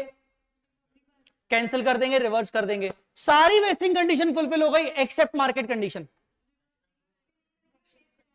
शेयर तो नहीं देंगे रिवर्स भी नहीं करेंगे। अंडरस्टूड और नॉट एक्सपेंस रिवर्स नहीं करेंगे। अंडरस्टूड और नॉट क्योंकि एम्प्लॉय के एफर्ट्स तो हो गए, हमें मिल गए। हमें मैचिंग प्रिंसिपल तो फॉलो करना पड़ेगा। समझ में आया कि नहीं यहाँ तक? बोलो बेटा clear this was your entire thing ये वाला वेस्टिंग कंडीशन वाला जो पॉइंट थ्योरीज है, वो इंपॉर्टेंट है, ये याद रखिएगा। अंडरस्टूड गाइस कुछ थ्योरी मैं अभी बोल देता हूँ, बाद में हो सकता है कोई स्टूडेंट बाद में आके बोले कि, सर मॉड्यूल में ना ज़्यादा थ्योरी दिख रही है। तो मैं आपको उसका जस्टिफिकेशन पहले दे देता हूँ। यस इंस्टीट्यूट ने अभी रिसेंटली अपने मॉड्यूल्स में कुछ थ्योरी ऐड की है। कुछ थ्योरी ऐड की है।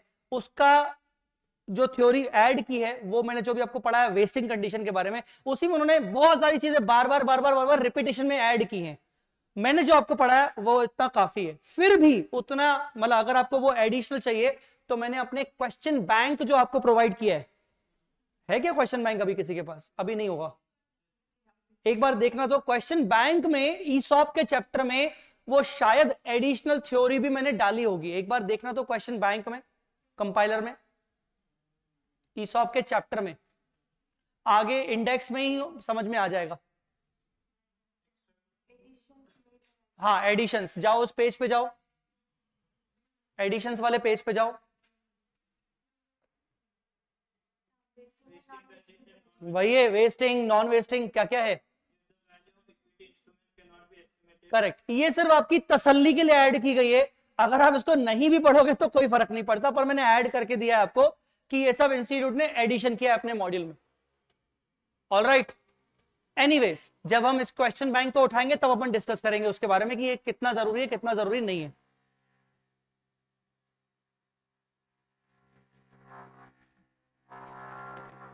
ठीक है तो ऑल राइट right, तो ये चैप्टर इज़ कंप्लीट हमारे अभी तक कितने चैप्टर्स हो चुके हैं? तीन। कौन कौन सा? शेड्यूल थ्री बायबैक और ESOP now from tomorrow onwards हम अकाउंटिंग स्टैंडर्ड्स पे फोकस करेंगे। तो आप चाहें तो अपनी वर्कबुक क्लास वर्कबुक अभी नहीं नहीं भी लेके आओगे तो चलेगा। अभी फ़िलहाल आपको ट्रंप लेके आना पड़ेगा। ऑल राइट ट्रंप मतलब कौन सी? अपनी एएस वाली बुक ट्रंप के साथ साथ आप कोशिश करके, अगर अगर कोशिश करें तो कंपाइलर भी साथ में रख लीजिएगा। कंपाइलर क्वेश्चन बैंक कंपाइलर ठीक है ना? तो ट्रंप और कंपाइलर आप रखिएगा। हम साथ में वो क्वेश्चन वो वाला ए एस स्टार्ट करेंगे ए एस फोर पहले। ठीक है? चलिए thank you so much sir batch end कब तक होगी? बोथ ग्रुप्स रिवीजन के लिए टाइम रहेगा ना? बैच एंड लगभग लगभग मार्च फ़र्स्ट वीक तक हो जाएगा। बोथ ग्रुप्स के लिए सफिशिएंट टाइम मिल जाएगा। सो चलिए थैंक यू सो मच अभी के लिए इतना ही। बाय बाय टेक केयर जय माता दी। अल्लाह हाफिज। आज आज हम जल्दी छोड़ रहे हैं। ठीक है? मतलब मैं गिनवा रहा हूँ आपको। आज हम जल्दी छोड़ रहे हैं। ताकि कल अगर किसी को बोलना हो आपको तो बोलना कि, सर, जय ने, जय सर ने जल्दी छोड़ा। हाँ? हाँ कल सुबह जय सर ने बोल देना, जय सर ने जल्दी छोड़ा। कितने बजे छोड़ा? सात छत्तीस पे। हाँ। Thank you so much bye bye hmm क्या बोल रहे हो?